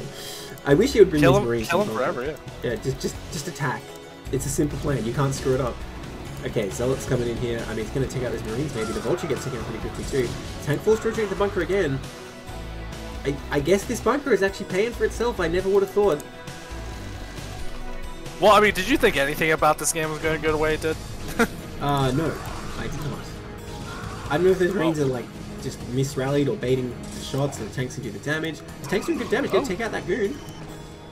Oh, Terra raiding us with a nice big party to watch. Oh, welcome. A very wild game. Thank you so much for the love, Terra. Yeah, this game is, is crazy. Uh, well, that Reaver's out again, but I don't think it can win this fight. But those tanks are low. If it just gets the shot on the tanks, then it can do work. But it's going to get taken but out. These, but the tanks oh. have siege mode now. They don't oh. have to be aggressive. They can siege up. Excuse me, what have you seen in this game? They don't have to be aggressive. I don't think you know which player you're dealing with. I go to SCV, does not keep units in his base. He rallies them. Oh my gosh, that siege mode though. That is like the worst possible mode. siege mode. That is the worst possible siege mode. So have mines too. Like Spider-Mine's a research, Vulture's finally really? being added on oh behind oh, us. Yeah. He researched both of them ages ago, just so we're focusing on these small micro Reaver battles. While both players just cannot get that next step. We're seeing a third gateway going on. Jakester adding on a fourth gateway. You know what? You can't support this. Cancels one. Like there's a, there's a limit. oh my god, this game is all over the place. Okay, looks like J I got your SCV is finally gonna come in here with a decisive push. I think. I don't think Jakester can really defend this. The Reaver just started. I mean, without a shuttle, he can't do much you. He's gonna You've said that multiple times already. Hey, I never said that. I never said that. I said I, I think I got your can win. I didn't say like this is the end. But yet this is the end now. I'm saying it. GG. Wow, I don't even I don't even know what we just watched. So those who will just join you for the raid, this is this is Coach Pupil League, the league where players can learn from free coaching and fight each other in teams. And we are casting tier three games, so this is a bit of a lower level. These are generally sub 1350 MMR players. Uh, so we don't know what we're going to see in each game, and that one was an example. That was uh, that was something. Yeah, but we are just trying to do our best for the foreign scene to make sure everyone has a place to learn, find like likely skilled players, kind of be interested in doing it. And if you're interested in joining, whether it's in the league or just to hang out, there's a Discord link that I just put in the chat. Feel free to join on in. We cast games multiple times a week on this channel, and then we have community casters. So if you want to learn how to cast better, play better, you just get some help from coaches or just a place to hang out, CPL is a great place to do it. All right. Let's get into that game two because it is a best of three, of course. Although, does that one count as three wins? Like, no, there's no, there's no bonus wins. I want to see more games of these players play. All right. In the top left, in the Navy, we have I Got Your SCV. God only knows what horrors he has prepared for his opponent this game. And in the bottom right, in the magenta still, is Jakester. Currently down one game in this best of three. Let's see. I mean, I... Uh, what is he doing? Okay, no, he's just money. I, I, was I was on watch already for what he's going to do. Uh, I, yeah, I, I, saw. I looked at the production. That little if if I get your SCV just walls off, gets siege mode, gets a CC, that would be the least likely outcome, right? I feel like a player of I got your SCV's stylistic alignment. I, I see them as a two fact boy if we're playing a normal, quote unquote normal game. They like they feel like they're a two fact boy. Hmm. Well, we'll see. NCX says that game alone is worth the price of admission. Well, it is free, so but it doesn't have to be. There is a subscribe button and a Ko-fi link. If you want to make this cost something, that's up to you at any time. That is not how you get people to donate. Yeah, it's great. It's free, but it doesn't have to be. You can fix this. It, well, it doesn't have to be. Hey, listen.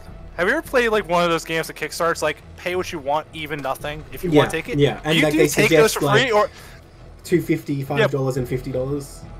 Yeah, or you know, if you're not a nerd degenerate, you go to an art museum. It's suggested price. You can play pay whatever you want, very few people pay the bare minimum. I'm just saying you could. hmm. Well, in any case, not. Oh gosh, he's getting gas from the factory again. I don't even know why he got gas last game because he didn't build a factory for like four minutes after he got it. Uh, he's doing hey, it again. He's doing the shallow three, his signature build. Please no. Like, uh, like the thing is, I think this build could be really cool and interesting. I think you could definitely refine to have a lot more punch to it. But this, like, this gas first opening is not the path to victory. It's very risky though. Like, say, say you were executing it well and you like figured out a good build order for it. The problem is if if your opponent's like doing proxy, you just lose. Uh, and if your opponent finds your barrack, you probably just lose. Okay, so he's gonna set up like a normal wall here. Uh, if he just goes siege mode and expands, I'm I'm gonna be swimming. Like, goddamn, these predictions, how are they so freaking cursed? Well, it's because we we were treated to Christmas. Christmas is once a year, man. Like you don't you get just Christmas every day. You'd get bored of it. So we got uh, got your SCV. He is here to hang out. Looking like they're gonna make that Oh. full wall. Is this a re- is this a no, real wall? No, it's not. No, it's not. Depot below, the units will flow. Depot below, do you even Terran, bro? Like, it's the worst place to put it. He could put it here and had a full wall. Actually, I don't know if it actually fits there, but either way, this is not going to block. Um, not going to block a probe, not going to block a zealot, not even going to block a Dark Templar. So this probe's just going to walk on in and be like, oh, nice wall. Yeah, I mean we'll see though. The attempt to block everything off, the probe does manage to get on in, and it's gonna get there and see the gas being mined before. SCV's like, wait, no, you can't do that. Come back. Well, I mean, he doesn't know when the gas was taken. You can't see how Well- much your opponent has mined when they've got a refinery on it. Only if it's empty. Ah, ah, that's just for us observers. We get Yes. the benefit of knowledge. Yeah, trying a game, you select an opponent's refinery or whatever type building, then it doesn't actually show. So factory just go down here. He's going to get a second one. He's still mining gas, so it may just be a mistake. Tier 3, you never know, but he may be going for a second factory here. Again, if he just gets siege mode and expands, oh, I'm going to be very mad. I mean, so what we say about the higher level play, that if you don't take guys off the gas, that's usually two fact. You need Yes. to tech. Maybe you're doing something. This guy got gas real early and is not taking guys off. the True. gas. So if he so doesn't take if you want to gleam, if we ever see him doesn't don't not taking gas, just run and hide. There's already eight barracks in your base. I don't even know. the misunderstanding of what an eight eight racks is. All right, so this goon's gonna come up here, and I guess that's the one unit that can't fit in this gap. Uh, Starport, yo, this Okay. see, I like this guy. Look at this aggression. We're gonna begin a machine shop and a starport, maybe some kind of vulture drop. That'd be sick. Yeah, I expect most likely he's going to go for mines or speed and then drop a bunch of vultures in the base here. I personally like speed, but both are definitely viable. Um, and yeah, okay, this is actually a legit build this time then. Bunch of marines getting made, so presumably he's going to defend with those. You can defend this ramp, of course, with marines only for now. Is there an SCV? No, I guess there isn't. I thought there was one, but maybe he died. Maybe he just went back. on don't. Did he even scout? Ooh, wait, what? Oh, he's Uh, going to drop above the natural. He's going to drop a tank above the natural, I think is the idea here. Either Which that, would make sense. Sorry, you. That would make sense a bit to keep making Marines then, because then if you're causing a little bit of chaos, maybe you actually get aggressive. You've seen Oh. you've seen his Marine aggression with the game one. Well, maybe he'll Maybe load up really one wants to get tank everything moving. and four marines, and like drop the tank to siege. So like he drops the tank above the high ground, the, natural, sorry, on the high ground above natural, starts hitting those, and at the same time he's dropping like four marines in the mirror line. And four marines can kill probes reasonably fast. Yeah, I mean, there's definitely an opportunity here, and with Jakes, they're doing very normal, conventional kind of openings here. He still has a one gate expand, adding on more gateways and a robo. I think you could really catch someone playing like this off guard, especially as these goons are down here and they're not trying to poke forward. If you poke forward, see a lack of a tank, He you should be like up two thinking- dropships. What do you mean lack of a tank? Here's a tank right here. That is kind of Well, no- though. Oh no, it's not. Okay. Well, I, I meant if the goons were like poking at like the barracks and stuff, that you were like you weren't getting shelled by a tank while you're doing it. That would be like there's something weird going Oh, on. yeah, here. sure. I don't know what. So he immediately queued up two dropships, so presumably he can drop both locations at once. Not sure how many units he's going to have to do that, though. I guess he can have another tank by then. But this is going to be an all-out, just like, I'm killing all your probes in the next five seconds, good luck, type attack. Well, I'm excited to see it because I got your has actually still been doing pretty good. Good production Ooh. back here. Has is loaded up a lot of Marines in one. Has the siege- siege tanks back at home for the second one. I think gonna wait for everything. And like he's still making SCVs. They're still a next step. So even if this Yeah. does damage, it does end the game. Like he's still gonna be in a good spot. Ooh. Was Yeah, making robotic. He knows this is a spot, he wants to keep an eye on it. And interestingly, a shuttle came up, so yeah, we're going to see a Reaver here. Um, I've never seen him out in time, but say like the drop does some damage and it's cleaned up, a counterattack of a Reaver could actually definitely end the game. But look at this, he's trying to come up in here, this is the worst possible time. The Marines are in the dropship, he even sees the dropship. Unfortunately not focus firing a depot, he might have been able to get in there, but I don't know, two siege tanks a bit dicey. Yeah, he's definitely going to have to leave at least one behind. He needs to repair that. too. Well, he's, he's making more. He doesn't have to leave. He's fine. He can just keep making stuff. Right, here we go. So, so Jakes just saw the dropship, right? So, he should know. Oh my gosh, look at this. Seven Marines and two tanks. Here we go. Here we don't go. We'll go soon. We'll go soon. well, this unfortunately, this is like really critical when you're doing some kind of weird play like this. But anytime you're kind of leaving on a table for more reinforcement units, He wanted one for, more the, for an observer to hit a field or anything, He yeah, wanted that one more Marine, of course. Gotta go with eight Marines, can't just go with seven. Okay, so I don't see any goons in position here. Okay, there's this one, but I don't think that was actually meant to be in here. I think it's just incidentally in there. There's a shuttle with nothing in it. I, I don't know if Jake's is really prepared for this. Zealot's coming out in the Citadel. Did he not notice the dropship? His goons were shooting at it. Uh, you you said he saw man. Remember it's tier three. We said that about the His units earlier series as well. The, the, Yeah, the like- report was, you know, filed on his desk. Whether or not he read it, it's up to him. Okay, the Reaver's out. So if, if reacts quickly, the Reaver can drop and at least deal with any siege tanks pretty easily. But let's see. Oh, he's going to set up like a little, a little. Oh no, the tanks are not dropping. He's dropping over dead ground. He needs to siege up soon. Okay, loads up the zealots. Jakester's to come right over here. The tank's still not unloading. Okay, there they go. You don't want to drop directly on top of this. The Marines will do huge damage. Oh, but he sieges up. The worst possible moment. The Reaver's going to get a shot off. Oh my gosh, there go your Marines. But there goes your Reaver too. Still not really a worthwhile trade if he gets all these tanks as well. Going to work on these probes. These Marines walked all the way down there to kill probes. What is what is this game? And they're actually doing work. Yeah, so the Reavers lost both the tanks. Marines get cleaned up, but there's some probe damage. I would say everything looks pretty good about this, but there's no CC behind this even on the high ground to float down. It did get Jakester to back way off, and the dropships did live, so you can use them for other stuff as more tanks are being queued up here. But we're starting to see the money get a little bit out of control from the Terran player. And while I was praising, it's like, oh, he's making SCV, he's got that next step. Without actually getting the expansion, not so much. Oh, here you go. He's going to take it now. Both players macro really falling behind there, trying to do all this fancy stuff. Both players like a thousand minerals plus, um, which is not what you want like eight minutes into the game. But yeah, he's taking this command stand now. Pretty even on workers, but we will see pros pull ahead a bit. I know. It's not like a, a losing position for Terran at all. It's just not nice. He still has the dropships though. That's the key thing. You keep these dropships alive, you can threaten Protoss a lot with them. Um, so I think I think I got still definitely has options. Look at these goons. They're expecting a drop to come in here, but not right now. Well, something um because we always talk about stuff in the game about like maybe your macro slipping or like strategy stuff. Well, I think we got a little bit dead time. You want to talk about this Proto or this Terran base layout for production because three random factories Yeah. all over the place. This feels like I'm zooming out and I can't zoom out far enough because like the edge of the map thing. So yeah, here's this one factory and the starport down here, and the furthest away one is like you know almost a full screen, no, a full extra screen away, which is not what you want. You want to just put it all down here where you can put it in one screen, and then so you can just uh, use your camera hotkey and rally back and forth. But yeah, this is going to be a lot harder from Jamaica. Look, I, I don't want to complain too much because at least he's making the factories. You know, lot of players when they bank up that money, they just keep trying to produce off one factory or whatever. So I, th- I think he's doing all right. Um, but yeah, definitely could be improved. I mean, the wall the wall is your starting point as far as SimCity goes. So I'm not I wasn't going to pick at it. But what about the Protoss? I mean, Protoss is arguably worse because he has this weird setup with his gateways in the back, almost blocking this off. There's a couple over here, hasn't utilized any of this space at all. Um, he can fit more tech above his natural at least, though. Yeah, both both sides definitely. That's, one of the things that can really elevate and make your mid game macro a lot easier is having a base layout that even if it's not optimal, just close together. It's like because if I always try to like, just have like a vertical or horizontal line of gateway, so I can just kind of rapid fire go real quick.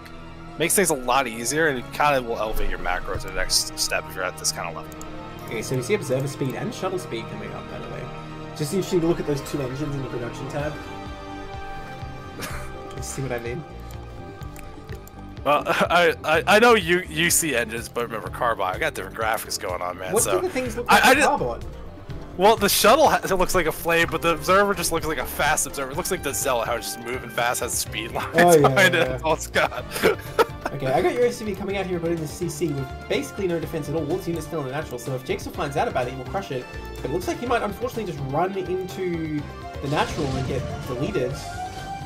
Yeah, no Zealots here. You don't be attacking into this, Jakes. They're not going to retreat back in time. He's got the shuttle, but I think go for this at this point. You've lost too many Oh, do not but he's got a couple Zealots. He's Do not drop that Reaver. It will die.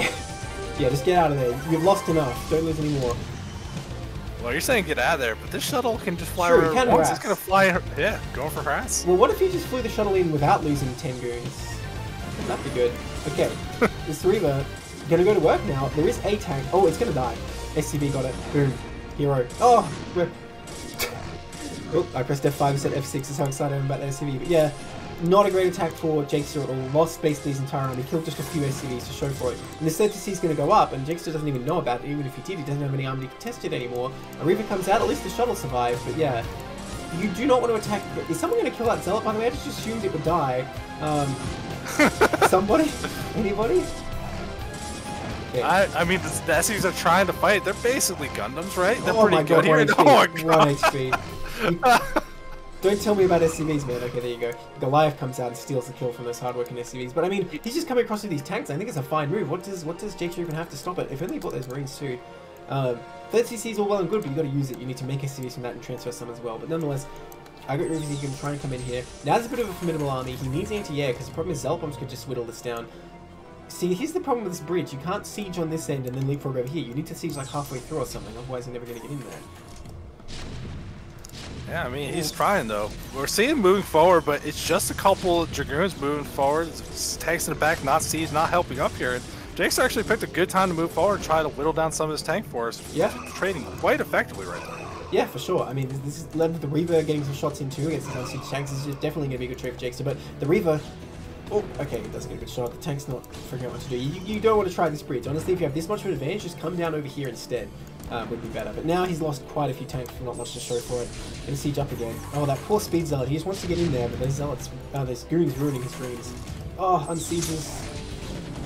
These tanks just sieging, unsieging all over the place. Oh, that scarab. Man, that Reaver, it's like holding back the Terran army on its own. Oh, it's Well, there's a shuttle that's just watching it die in the middle of the field, unfortunately, which could have been better here. But hey, both players at least got three bases up. We see Yeah. Jakester took that six a while ago, It's starting to saturate that, and the probe count's actually kind of climbing here. So Now this getting looks back better on- for Jakester. Um, I got Yep. USV needs more workers, right? Even though 36 on three bases is extremely low. But I, I think Jakester can just keep trading like this and he'll be fine. Small scale engagements always tend to favor the Protoss. So Jakester needs to keep trading and I got USV needs to try and pull back and consolidate. He's still few more Goliaths now though. I mean, he's got all these gates, but not most of them are in use. Oh. Hey, by the way, I just want to, like to point out in that last PvP we still didn't see Storm. I just want to remind you. Oh, shut up! You cursed it, man. You didn't want it it, hard have enough. Templar. Alright, well, I guess I should talk about this game. The Goon's gonna come up here, and this is what I was saying. Like, Terran cannot trade efficiently with just these, like, small rally units. Like, eventually Protoss just overwhelms these gateways, and that's exactly what you see here. Now, I got USV still doing fine on three bases here, but the problem is he has no tank count. Uh, he's gonna have a hell of a time rebuilding. Double armory going down. Uh, what's Jakester gonna get up to? There you go. There's the Stargate and Archive. So looking like Arbiter here. I think these SCVs might be rallied here, not sure. Well, he's gonna find that third, so maybe it was worth it. I get an idea of maybe a new angle attack from. I'm actually just very puzzled. I got your SCV is still going for a double armory, like this big late game kind of play when he's not playing this way. But SCV swinging over to the nine, maybe gonna take another expansion, and the SCV production has kicked back in again. So maybe realizing I gotta like build up a little bit of a force here. He's got these two dropships, a couple of vultures being rallied. We'll see if he wants to try to cross the bridge. Very ill-advised. Yeah, so I don't know why these dropships are here. They're just like free kills for the goons if they kill this army, because there's nothing in them, and he doesn't need vision. So I don't It's about sending a message, man. It's when you marine drop the dragoons to show them that you're not scared of zealot drops. Okay, well now with three tanks here and a mine in the way, I'm thinking, okay, you don't want to come across the Imperials at all. But the dropships still could be doing something else. These Marines, by the way, just the sole protectors of the third have been there for the whole time. Where's the Arbiter Tribunal? Man, this is a lot of Zealot Goon though. Who needs Arbiters? Like, if he goes around the side, he can crush this army. As long as he doesn't try and come across the bridge, he has a good army. Yeah, this is one of the things about playing this map. You see a couple units getting baited in here. I got your SP doing a good job, just trying to pick off whatever they can. But yeah, you don't want to fight across the bridge. You can go up to the right, go around that way, or you can go by your third base and go around that big high ground pod on the left. Like, there's many safer ways to go, but that bridge is asking to die. So hopefully, Jakester doesn't get complacent and just attack into a really bad situation. Yeah, SCV getting his macro going somewhat now. I mean, his factories are idle right now, but he has built how many? Six. Needs a couple more. Fourth base coming up, which I think is a good thing to do. Your army's in this forward position. In fact, fourth and fifth base. I just don't think he can maintain his position if Jakester. Oh no. This is probably going to be a Zealot massacre. Oh dear. And these Well, groups, I mean- half his army is sitting idle, is attacking just one control group at a time, which is not what you want to do. You need to use everything, and obviously you can't get everything across this bridge, which is why you need to go to the side. If if he just spends the entire game trying to break this bridge, I'm pretty sure Terran will win. Well, I actually don't. That blast trade wasn't that bad. A couple zealots to clear out all the mines and get a couple tank kills. That particularly was not that bad. Oh, I think it was. But, he had yeah, like it's- 12 zealots, and he killed one tank and a couple watchers. I thought he killed a couple tanks, but maybe I'm Uh, mistaken. maybe it was two. Even so, it wouldn't be worth it. Especially with Terran on superior bases now. Protoss has neglected to expand. He's been sitting here throwing nukes across the bridge. He's getting a fleet beacon Yo. instead, which I don't know if I like that. Because Terran's already right in his face. If Terran figures it out, Terran's not going to have a hard time pushing forward. Again, if he comes around the side here, though. Neither player can push across this bridge. And, and the big thing about getting a fleet beacon, carriers without any air weapon upgrades are kind of bad. That's true, Especially that's true. later later you are when there's more upgrades for the, the Terran ground force. I think you gotta be very careful about when you switch into carriers in a spot like this. Jakester didn't, but he's like not even exploring the other two routes That maybe go to the bottom left and get Oh. other thing. He's gonna try the bridge. The No. the the worst time though. But yeah, I, I think Terran can still trade well here. Oh, but he pulls back. Over microing his tanks to be honest. First he unsieged him, then he was nuking back. The Reaver drops in the middle. Well, doesn't get the best scarab, does get taken out. But I think Protoss still takes this out. Just by virtue of having a lot bigger army and Terran unsieging and moving around too But much. look at the look at the bridge pathing, messing everything up. That's what I was talking about. It's so hard to move an army across, but yeah, it was enough to just overwhelm it eventually. Zixter does break through. Terran's gonna have to retreat, and now this uh pretty aggressive taking of the fourth and fifth base. If Jakester just chases forward a little bit further, he's gonna see and be like, "Huh, interesting." I Then know just SCV's attack got so many factories, but he's not doing anything with them, even building more. Like, look at his bank right now. SCV's going to fight, though. I don't dislike that move. SCV's pretty strong. Yes, get him.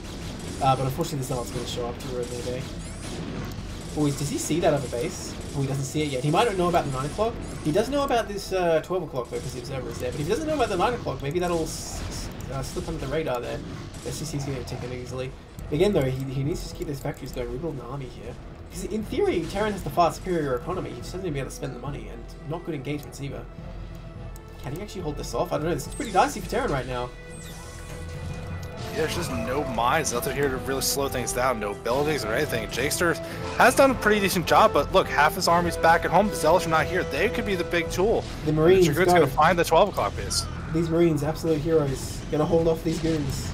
Are they actually gonna hold off these goons? Probably not. I don't think they Maybe. quite do it. I don't think they can quite do it. Oh no. Oh no. Oh, that shuttle's empty. I thought there was a Reaver in there. I'm like, that'll end those goons. But oh, look at this. The speed zealots coming on these tanks as well. So it look it looks like oh, Protoss is barely not going to get in here. I think the rally will clean this up barely. And look at that. Two goons going to go to work in this third as well. Going to cause massive damage. Sieging up. I don't know if siege mode is what you want when uh, zealots are in the middle of your mineral line. Nonetheless, it's going to do it. Picks up a tank. I think that was an accident. Now it can't fight. Oh gosh, it's massive damage going down all over the place for I got your SCV right now, and his minerals spiking up to 3,500. Not using these factories. GG. That's just too much chaos, I think, for him to recover from. Well done, and I think I think even if you see the stabilization, remember those the carrier switch was on the way. Carriers That's already made. That's true. So like you saw no Goliaths. Like I think that was going to be the one-two punch, but Yeah. punch number one was enough to take it down. Yeah, and we saw behind it, you know, Jakes was doing a fine job rebuilding Selagoon as well. So it's not like he was rallying it across and continuing the attack, but he would have still had plenty of army to maybe attack again a little later. So definitely, I, I think it's it makes sense to leave there because everything's just spiraling out of control. Those I just Marines, though, love that They we- almost did it. they almost did. Yeah, the high ground was pretty good there. I just love watching. I feel like every season we get like one or two wild card players that does whatever Definitely. they want. I think I got your SCV could be that guy this season. Well, is Kenzaki Renko still playing? yeah, He's of course he is. one. All right, in the top left, in the magenta still we have Jakester, and in the bottom left, in the red we have I got your SCV. Both players tied at one one, which means we finally get to our third map. And this is fighting Can, spirit. can, can yeah, it sounds like. Can you tell Ah. what it is? I can tell, You've, you've you've only seen it for like 15 years. right? You'd think it'd be easy, but yes, this is fighting spirit. So, blast from the past, maybe. That's not really the right way to put it, is it? The the good old standard. the, the the vanilla ice cream of StarCraft. Yeah, the, the butter on toast. What else? Hey, you can't say butter on toast. There's people that don't like this map. Oh, They exist. are you saying there's people who like don't like butter on toast? No, I'm saying there's everyone likes Oh, butter right. on toast. Well, Not some everyone people are like, well, I prefer margarine, you know. So I'm just covering all bases. Will we see the signature I got your SCV gas before barracks? I hope not. I, I think I, we like. will. I think he just does. Well, I would I would love to see another Oh. game after this week. Maybe this is like you go to the coaches, they're like, dude, stop doing this. Yeah, please. Like, if, if his coaches are watching, please give him a proper opening. Even if he wants to cheese, at least get him to go like, you know, barracks then gas or whatever. But this SCV coming up pretty early. I don't know if it's scouting. It looks like it might be heading to the middle of the map. He might be throwing down proxy barracks here. If so, they're going to be a little late, but still potentially an option. Is this Shallow 3? The Revenge? Shallow three. Could be. Could be. He's like, you know what, normal build sucked, didn't work. Ooh, no, he's scamming cross. Maybe he just wanted to No, check I for a think- proxy and thought he might as well, like, you know, just see if he happens to be cross position.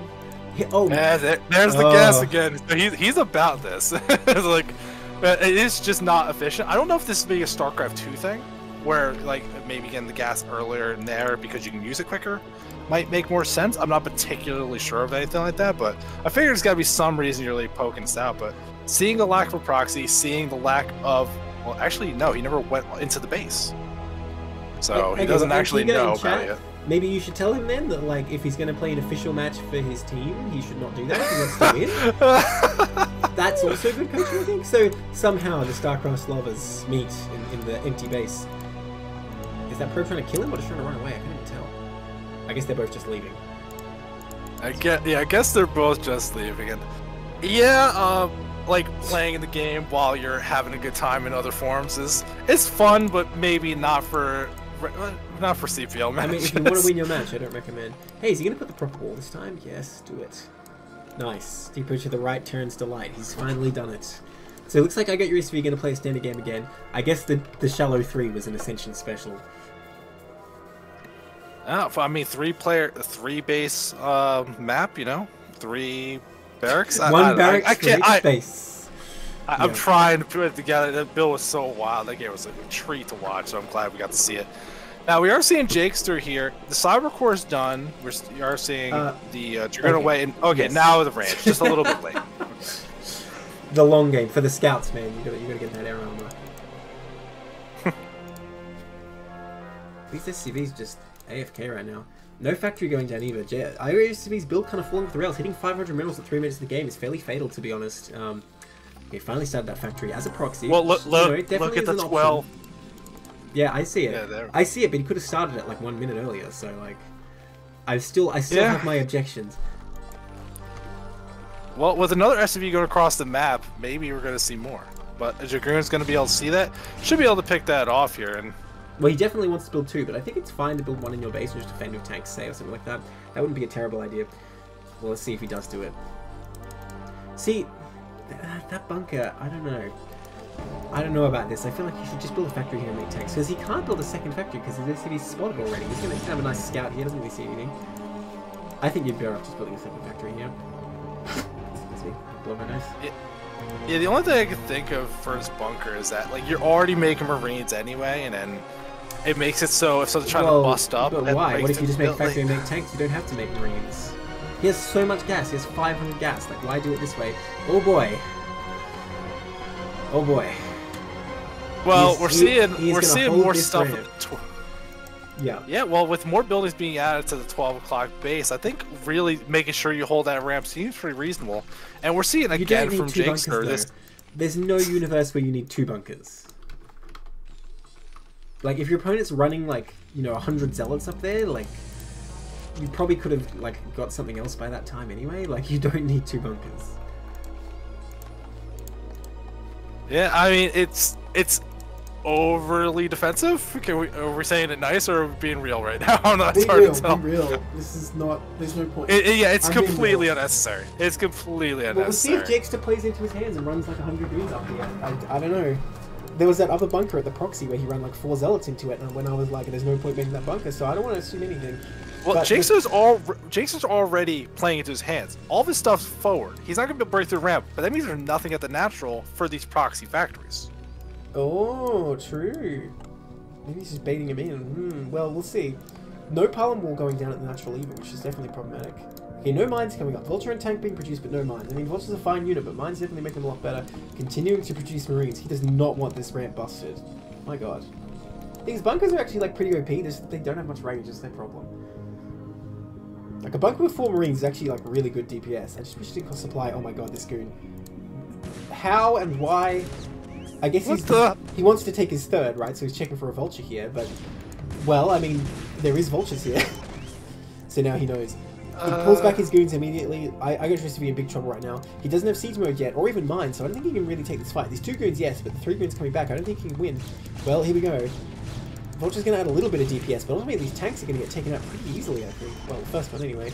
Yeah, this is not the trade you need. You need to keep those tanks alive. Takes out both goons, but three more coming. I don't think that tank can survive this. Yeah, he's just focus firing it. Doesn't even doesn't even respect the, vul the vultures at all.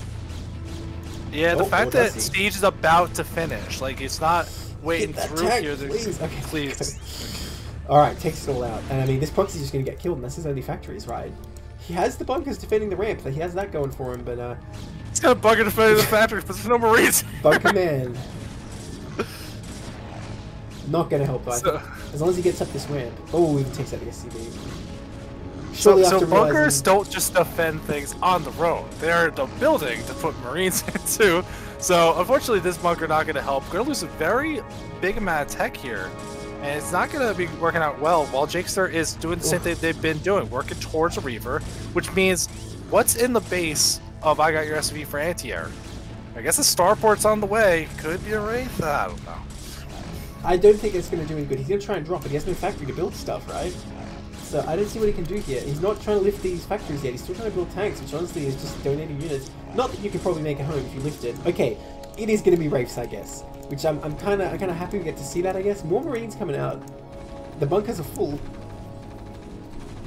All right, so the Blime, as you mentioned earlier, is like, let's be optimistic, and he said, no, let's be real. Wraiths versus Dragoons. Let's be real. No, it doesn't work. Well, it just does not work. Well, if you don't have an observer with your goons. Oh, there's also a Reaver heading for I got SV space, and the only unit he has is Marines.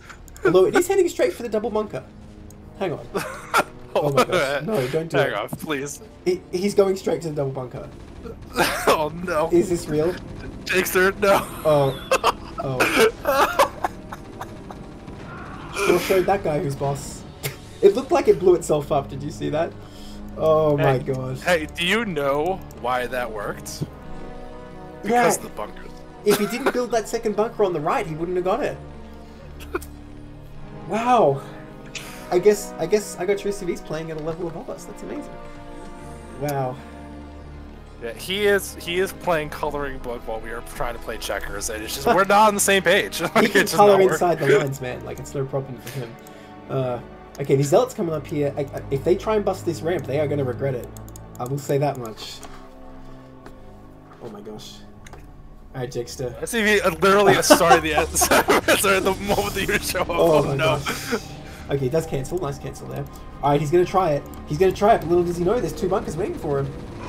Does wisely turn back, at least a little bit. Like, Goon's still risking its life. Uh, but see, here's the problem with bunkers. They don't have very much range. You literally just hit that. Alright, here comes round two. Oh, he's gonna repair? He needs to repair that. He needs to repair that. Yeah, it, it'd be nice here. And we are seeing the next at the 12. The Wraith count's being not revealed and built up. So maybe, uh, I don't Well, that Yeah. Goon's gonna die, which is nice. Oh, this is too late, but it's alright, he can build another bunker. Oh, no, Marine, he didn't have to die. Pity.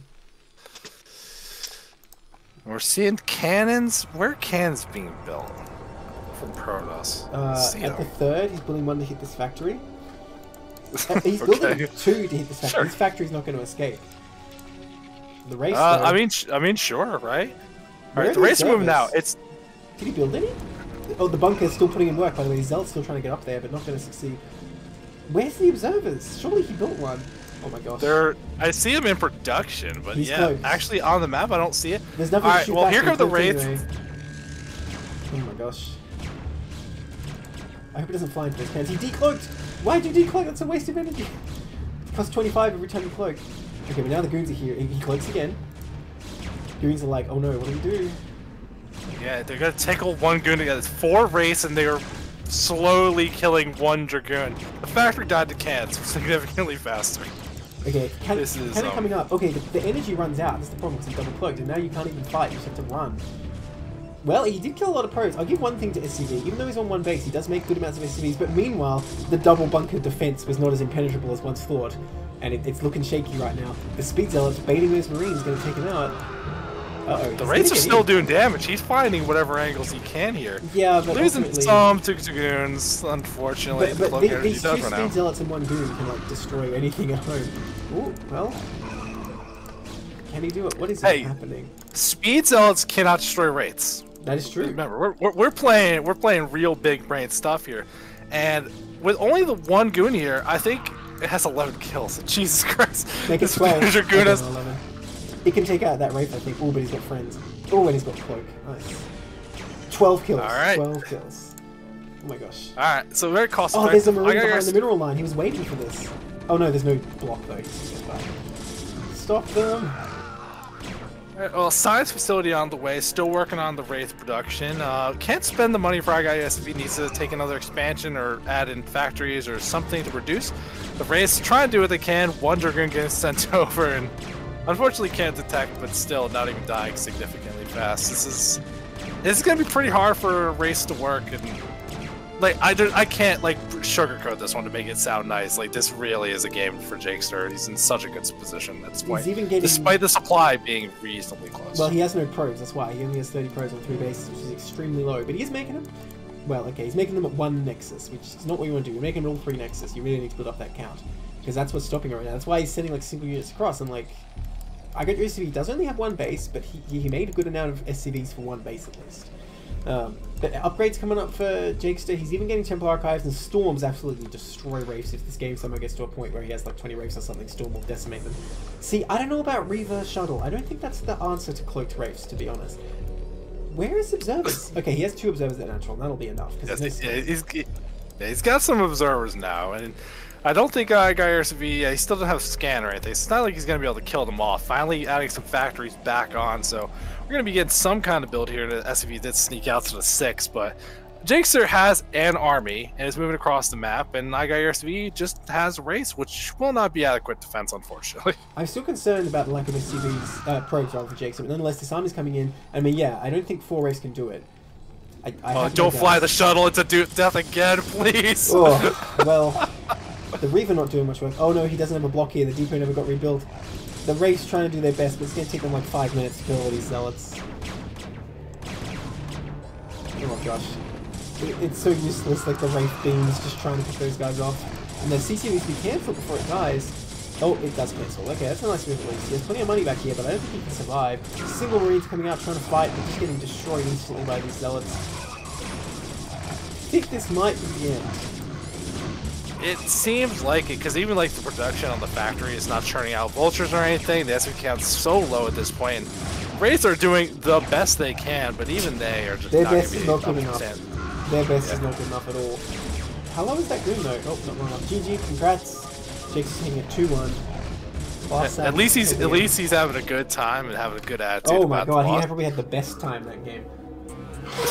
that looks uh, extremely fun by certain definitions. Hey, we had fun. We had fun Yeah, casting, had fun. seeing unique That's true. strategies. It is fun. That's one word for them. Unique strategies, yeah.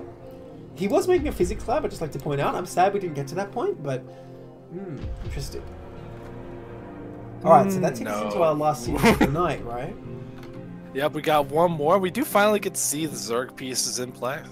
Oh, really? Although unfortunately, no more Terran. No Terran for you. Like Terran shenanigans are done. We're seeing a little more Protoss action tonight. Because we saw such, like, you know, honourable straight-up builds from our Terran just there, right? Alright. Oh yeah, for sure. Here we are on Ascension in the 12 o'clock in the yellow. We have N1N. What's the actual name there? Do you know? Is that it? That that that is the actual name. Great. And in the bottom right, we have N York in the grey. So, so PVZ on Ascension.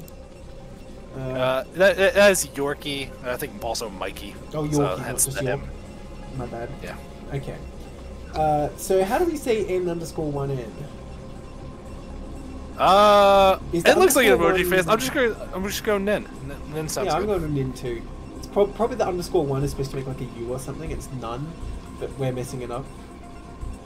Uh, like it looks to me like one of those like cute like uwu kind of emoji faces. Bet someone stuffed a fishhook into its face?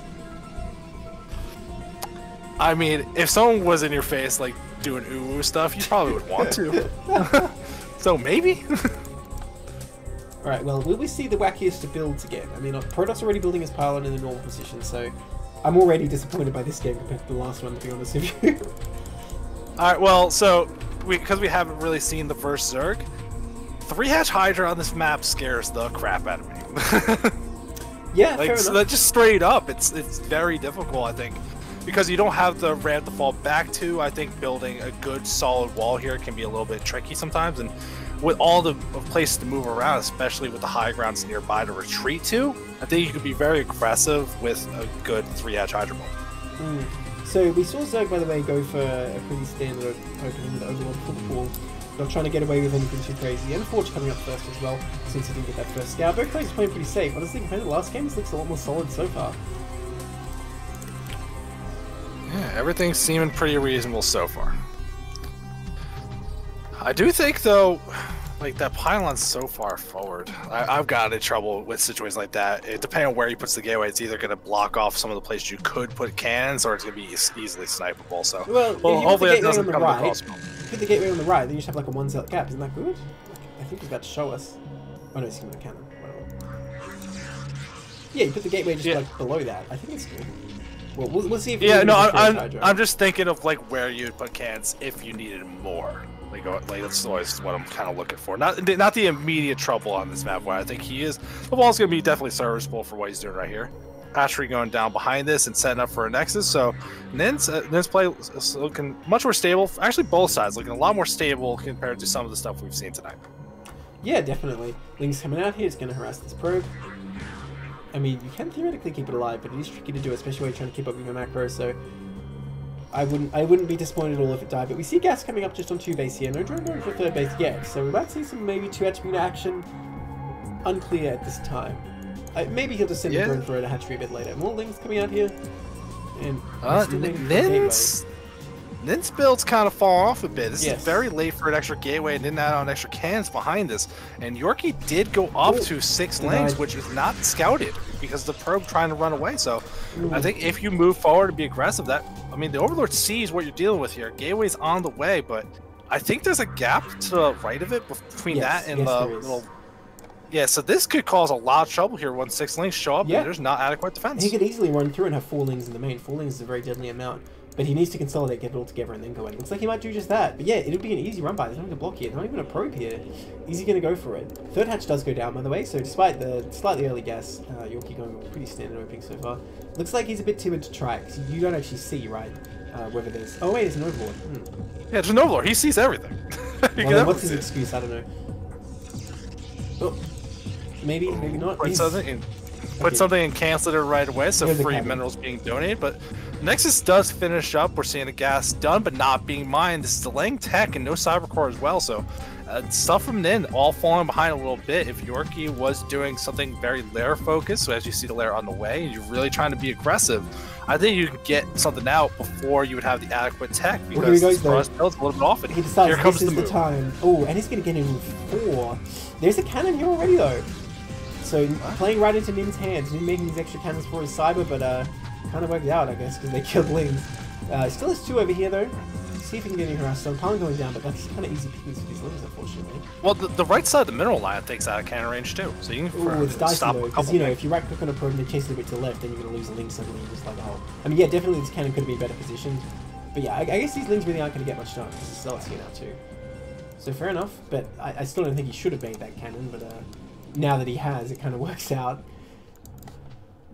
Yeah, I, I mean that's the kind of stuff that you see little players do, where it's like I lose to lings running through my base all the time, and there, there's there's choice of fixing isn't make the better wall. It's just well if I make the cannon the main ahead of time, like it works when it works, but it should uh, never get to that point. It's hopefully it's something just like the battle cruisers on TVT, like oh I'm getting contained, you know, so I should go battle cruisers faster. No, just don't get contained.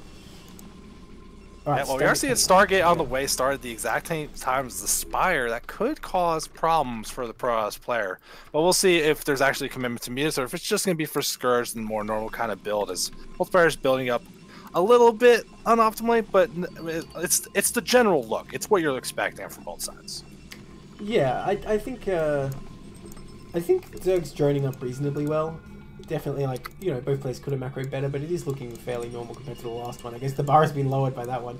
Um, and yeah, very standard opening with this. Uh, presumably three hatch Spire into five hatch Hydra. He's already got four hatchery going. I assume he's going to go into five hatch Hydra. Yeah, we'll see. Yeah, no second gas, so it's unlikely to be any realistic play.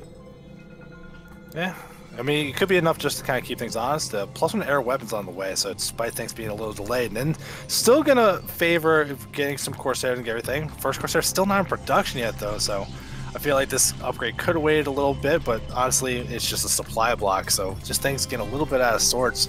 As that fifth hatchery is on the way, Spire's about to complete, so like the Zerg side looking pretty comfortable right now. The work kind of looks good. They got the three bases up, and Protoss can't comfortably move out to the map. Why is this Corsair so delayed? His stay is finished, right? Oh, and look, he is making mutalisks. He, he, was he was supply blocked. Oh. Okay, well, he is making mutalisks, so it might actually be a big impact. But he needs a couple Scourge to back him up, to be honest. It's five five meters versus one Corsair and a cannon. I'm pretty sure the Corsair and a cannon would barely win that. Um, unless you micro a what. Couple Scourge though, that changes the equation completely. Even getting more cannons already. Look at this. Nin is expecting Mira for sure. Yeah, which he didn't really get good scouting info of. But if he moves out the first Corsair to get scouting info, then that's not there to help the cannon. And he's going to move it. But yeah, because it's so late, the meters are already out. They catch you in the middle of the map. Again, if you had Scourge, very different. But uh, he hadn't picked it off the meters maybe before he notices. Oh. Oh, they're so close. And Corsair is going to reveal here. Does Mios go for the attack or they go to kill his Corsair? That's getting really good scouting info. Did not see any Mutas here, and they do poke forward. I think the pilot might have caught vision of them. Yeah, I mean, I think these Mutas are going to come back and defend. Still no Scourge being made. Really key unit against Corsairs because they can just run and run away now. The Mutila's kind of just showing up a bit late to the party, like, damn, where'd he go? Which way did that Corsair go? Protoss setting up, adding more gateways, adding his Templar Archive, looking like a decent setup here. Zerg is transitioning into Hydra. I guess you just have these mutas back up, maybe they can pick off Templars later. here we go. Uh, trying to poke forward here. You can at least whittle down his buildings. There's no real anti-air here to speak of. Managed to get a couple of the Zealots as they pop out. With three cans in the main, though, good diligent defense for being ready for these mutas. They're going to have a hard time getting anything too far done. Corsair is even going to move forward here, and it looks like we're going to see a move out of Zealots as well to get some kind of reaction from the Zerg. Yeah, Zealot speed is still a fair way off finishing. Uh, they might finish just as their eye, but I mean, if these Hydras here and the Mutas can come and defend as well, I don't expect this will do much. In fact, he probably should not attack, because he's going to lose these Zealots. Well... Yeah, I like this kind of move out more when there's like 8 Zealots is kind of the usual number for this kind of first attack or more. So 4 coming in to try and do what they can, 2 Hydras go down, but the Mutas are going to be able to do big damage here. That's reinforcing Hydra's comfort and defense. That's and trying to fight... I would like going maybe try to go for a couple drone kills instead of trying to fight the army. But I you don't really get too much done. It's kind of a donation. I think you should turn around the left. When you see that this Hydra's up and the Mutas are at home, you just go, okay, I better preserve my army. But now he's lost like what six zealots for nothing. He killed like three Hydras. Adding more gateways yeah, at least, so you try and make more. That's a good move when you're banking money like this. And he does have the Templars coming up. I didn't see if he started Storm, but he might have already finished it. Oh, no, it started now. It just just started, just started. Okay. But I don't know, Zerg, Zerg looks pretty strong here to me. Like, he's just going to have so many Hydras, and, like, you can you can really contain Protoss here on this high ground in that very narrow choke. I don't really see anything happening. And Zerg's even taking their fourth base on the map, and that's usually the kind of the trouble spot. If you're not really building to a big two-base push and threatening, that fourth base where Zerg can easily start getting out of control. Even trying to find a little more value with these mutas, there's a pocket by the natural that's a little harder to defend, but not overstaying, nothing doing too aggressive here. It's both players build up, and I'd love to see a couple more drones out of Yorkie, I think, as you're getting that fourth base, but honestly, both sides, this, this is much more refined tier 3 play compared to definitely, some definitely. of the shenanigans. These players looking so much stronger. Interesting that Nin went straight for the Archon here, by the way didn't try and preserve the energy on those Templars. But yeah, I, I am uh, quite impressed with York's uh, like macro here. He's made a lot of Hydras, keeping his money low. And then, like I said, even though he's banking money, he did add on gates like to kind of try and spend it. So that's a good move. Uh, Red plays with a fairly formidable army, but Zerg just looks so much stronger right now. Even finished plus one range already. What does Protoss have? Plus one weapons only. So I don't know. That this looks pretty dicey for Protoss. And like, see Zerg's getting in this position where he has this ramp, and how the hell is Protoss going to get that idea? Well, I mean, you can move out. It's just the units are kind of blocking the way, and there is a storm available. So if it's magic, maybe it does enough. If but, all those uh, yeah, burrow on one a spot, sure. See them. You're just gonna poke forward, see what kind of defenses here. The Corsairs already ready to react, and they got plus one air weapons, so they're gonna be pretty potent. But this Zerg army off to that left side, pretty potent. It's gonna have high ground advantage. So if Nin moves out in a really bad spot, he opens up for a giant counterattack or just takes a really bad fight. Well, it looks like that might be what happens if he goes up this ramp. Zealots. Use the storm. You have one storm. You have to use it. Oh no, this is uh, going to be a zealot storm. He needs to pull back right away. He's going to lose all these, and he does not pull back. Looks like every zealot's going to fall there, and that's most of his army. The goons struggling to get out, but they cannot, and now all the zealots are gone. Just like that, they killed what, like five units? All the Corsairs about to fall as well. All these Hydras and Mules combined. Uh oh. I was Yeah, trying we to got some goons. One one big storm possible is gonna hit. It's Yeah. a good storm, but it ain't gonna be good enough. It kills off some hydras, but still down to an archon. Just some uh, some dragoons back here. Not enough energy to know still for a while. All the cannons going down. So many hydras still left alive. Yorkie's army is looking pretty formidable, and I don't know if they could hold on much longer. This is why you don't want your army to fight in three separate pieces. GG. You have the Zealots, then like the Archon and Storm, and then the Goons all fought separately. Oh, and the Corsairs. So it all just kind of got picked off one by one. Yeah, not not what you're looking to see sometimes, but engaging with those pros army is definitely it can be tricky to get all the coordinate the way you want it to. But a big part of it, I think, was just preemptively morphing the Archon. It helps against mutas Yeah. if you see a lot of aggression, but you had plenty of Corsairs with plus one. You, it really was unnecessary. And there was only like five Mutalisks, so yeah, I agree completely. Um, if you had more Storms, it'd make a difference. And still, honestly, as soon as he threw away those Zealots, I think he was pretty doomed. But alright, we're going to game two. This is best of three. Polaris Rhapsody. We've been seeing some weird stuff on this one, and we'll see how these guys can move their army around here. A little bit different to move on Polaris Rhapsody, but we'll see how this one goes. Alright, in the top right, in the peach here, we have Nin. In the bottom right, in the blue, we have Yorkie, currently up one game. Going into Polaris Rhapsody, like I was saying before, it's Twilight, then Twilight.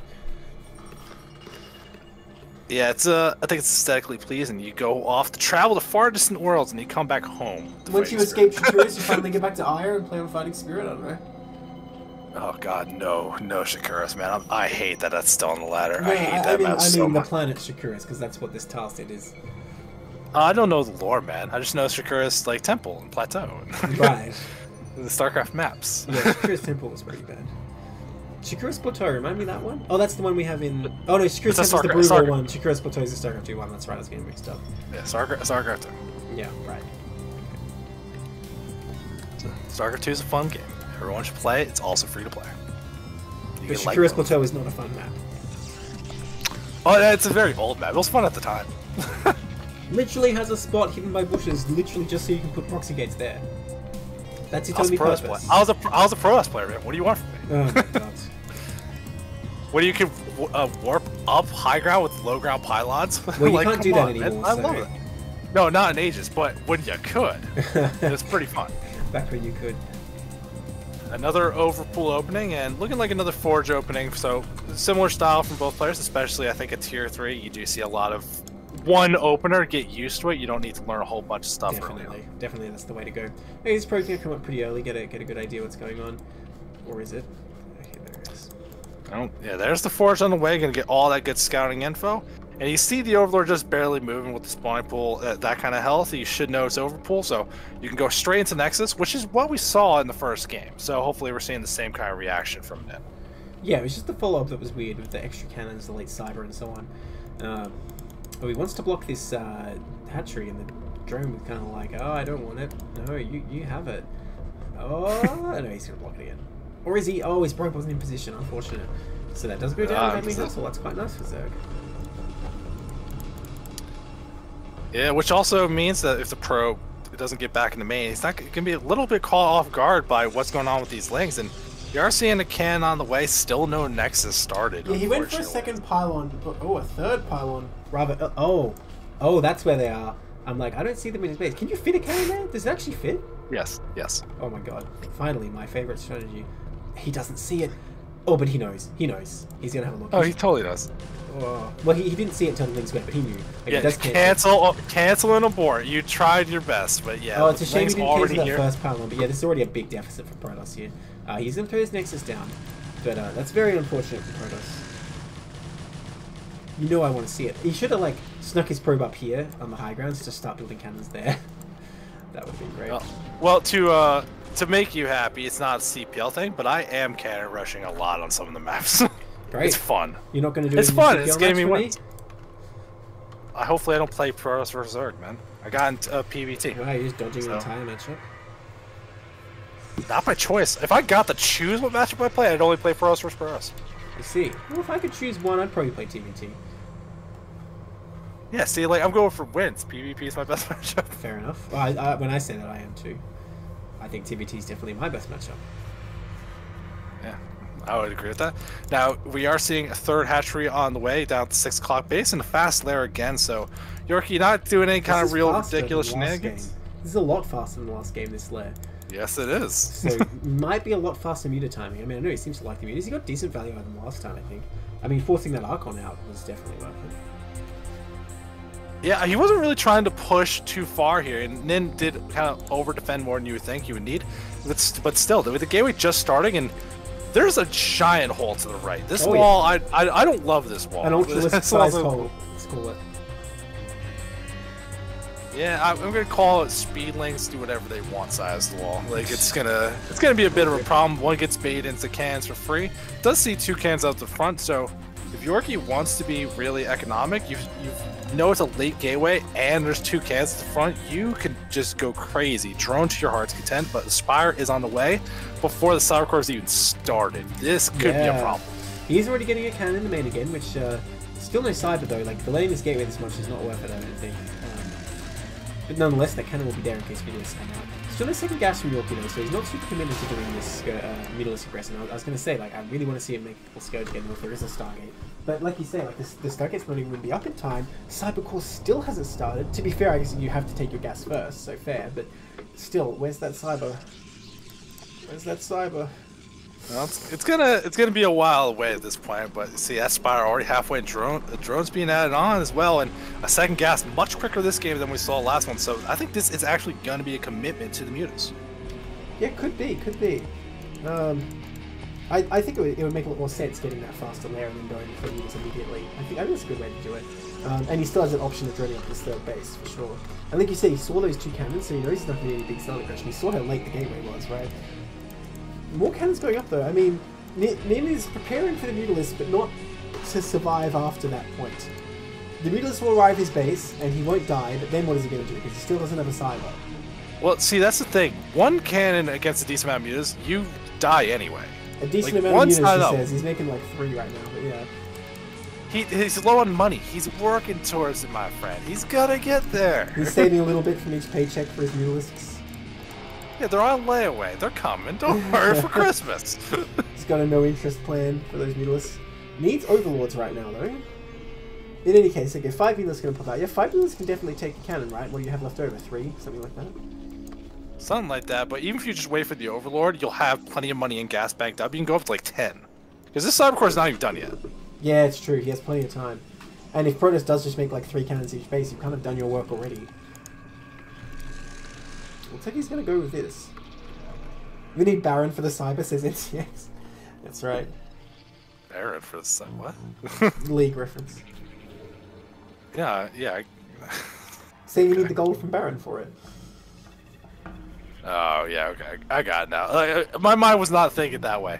Now, it is drones behind this. A lot of drones behind this. So it's just going to be mutas just to slow things down. But I think when he rolls up in this base, like, there's no anti-air. The Stargate's just started now. What? I could have won this game. I don't think he's going to go for the cannon. I think he's going to see the cannon and back off. That's my guess. Well, you see the Stargate not done, pokes off. He's gonna try to get whatever he can here. And actually, that cannon in the main doesn't cover the top part. You can start whittling guys off the gas. gas at the very least.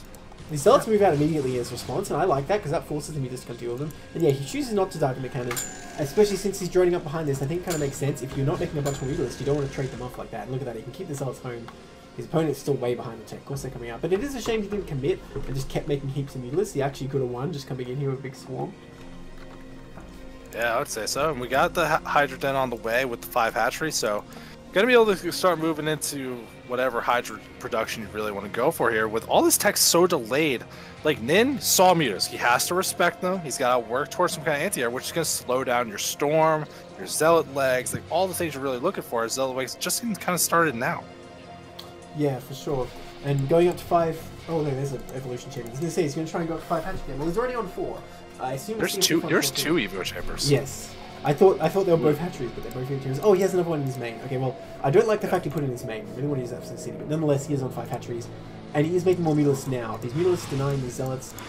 I think he realizes how much of an advantage he has here that he can uh, He can just mess up the air units.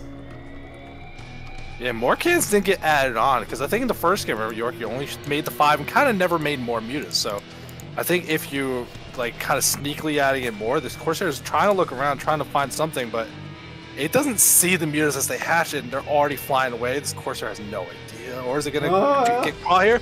Oh no, it does have an idea. No, not for very long. Oh dear. Still wish he would use the Scourge. But yes. Now he knows. He's going to make more cannons? Yeah, he could definitely dive on the main here. Corsair production had stopped. Goons even coming out very early. Before Templar. No Templar archives at all, in fact. Uh-oh. Yeah, I don't I don't like what we're seeing here from Nin, like trying to do goons and everything. You can see the mutas, they're gonna be able to catch all these zealots and make sure they don't get anything. But this does buy more time for anti-air here. I wonder if you would actually still go for the attack and let the zealots do their thing, but York wants to be making sure that nothing too crazy is happening here. I think the correct move is to stop the Zealots, because look at it this way, you are at least still getting like free units.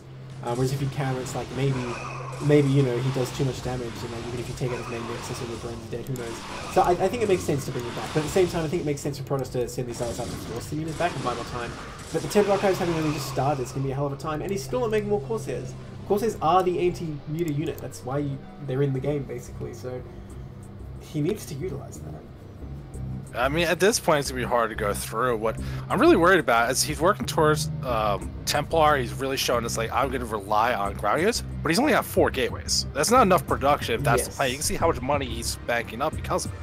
And here we go, he's going to come in here, brave enough to take on a cannon now, I expect. More being built. They, they kill that. They try. kill that like two swipes. That's Yeah. no way. There's gonna be critical damage. Yeah, going to take out that other cannon as well. Probes falling, these goons trying to get back in, but like they have the worst possible path to get back in here. The goons will never reach this base. Oh my gosh, one lone goon comes in here, that's just fought off the a couple more pop out, but like, that is not going to do anything. Mutalisk going to snore a single goon. At the same time, Hydra's attacking at the front, keeping the pressure on.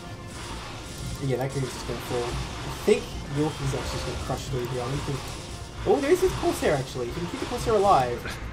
Two Corsairs now. Okay, you know what? Two Corsairs and all these goons, I suppose he can keep this Nexus alive. Oh, but he can't be losing that Corsair for free. These goons need to get in there. Oh, the goon's just AFKing right now. Well, how, much health Yeah. Yeah, the, the micro not looking particularly great for the Protoss player here. But the Muse are just trying to fight the goons straight up. They're not really focus firing, but they are going to win that fight. They are losing some significant health doing it. But that means look at the front. There's so little defense here. Yeah, the Like, Hydra's just there's a- waiting to pounce. Yeah, oh, that it's really just kind of. Because all these mutas are so low. I, thi- I think he still can clean up the mutas. I don't think the muta's going to end the game, but they have done their damage. And these Hydra's still building up. Why down on the short? There we go. Corsair on the hunt here for these very low mutas, and they realize they overstood their welcome. They're going to get out now. But they did a lot of damage. Zerg supply block. Did he lose an overlord somehow? Uh, I guess so. I'm not sure where exactly, but you can see York's up on supply, working on lurker aspect, and with all the action happening on Nin's base, there's no robo, and it probably ain't happening for a significant amount of time. Oh, that Corsair picking a fight that probably can't win here, although the Mutalisks don't know it. Oh, no, they do. And that's so Uh, many Hydras again coming across. York again with the impressive macro, bringing a lot of Hydras to this fight. And I mean, what has he got? He's got one Templar, he's storming. I assume it is, he's just getting Khaydarin Amulet. Only one Storm available though. I mean, you can just see that this build lines up so well. That's why it's like one of those standards. Like, this is what you should learn first. You get the three hatch Spire, Mutas to put pressure if you want, Scourge if you need them, and you just get a good economy, lots of Hydras. You can see he's moving forward here. Storm not done, just being researched now. So that Templar lot energy is threatening, but that's all he can do is look menacing. As there's basically no units here and only a couple cans. Yorkie not pulling the trigger, doesn't want to like overcommit and lose, but realistically, there's no way Ned's gonna hold on. Yeah, I mean, if the Hydras all burrow in one spot, it's possible. Storm's pretty good. I don't know. it's- Storm's not done.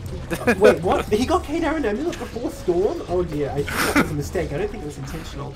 Oh, I didn't realize. Oh, so that Templar's a paperweight. He can try and intimidate, but I think York realizes, like, hang on, why didn't he storm me yet? Oh, I'm just gonna get in here. Oh, that Templar has so much energy, it's gonna die as well. Of course they're doing its work, but I mean, that's just so many happens. That's the Zerg Swarm right there, and I don't think anything needed to do to stop this. Well, at least the Mutas got destroyed. At least there's justice for the Mutalisks. GG. Alright, that's a 2-0, isn't it? Yep. York, York looking pretty strong, getting this, getting the win for the Fear Factory. Alright, well done to. Uh, not to to York. Good try. Th- That was that was a really solid last series. Actually, I'm very impressed by those two players. I think they're going to do well in tier three for sure. That was uh, yeah, both was both players looking pretty solid. That was definitely an exciting night. It's good to finally be back for match of the week, uh, and hopefully I can, you know, be anticipating more casts from this point onwards as well. But that's all the games we had for tonight. Zero, I know you're just waiting to shill something. Go on. Yeah, well, I got more CPL matches to show. Tomorrow, uh, we got the, the Wednesday. The usual. It's going to be me plus somebody. Maybe Nablime. He hasn't told me yet. Uh, but that's going to be Pacific Fire Cheese Police Tier 0. High level play. Some uh, some nice mainstay people CPL as well. You definitely want to watch that one. And then, uh, you know, we got the Thursday, the EU edition with Pancake Princess. That's going to be Tier 1 from Destructoads and Beach Buddies of StarCraft. Lots of games on that list, a lot of names that I recognize well, including Age. Who doesn't want to see Age? Oh my gosh, that's So- So make sure you hang out for that. Core Warp Gates uh, is gonna be doing something Thursday night to be determined what, but still lots of CPL action heading your way. As always, be in the Discord. We'll tell you what you're looking for. You'll get all the notifications as long as you're hanging around. And hey, dude, it was nice casting with you again. I feel like it's been ages. All right then, that's it for us today. See you guys next time.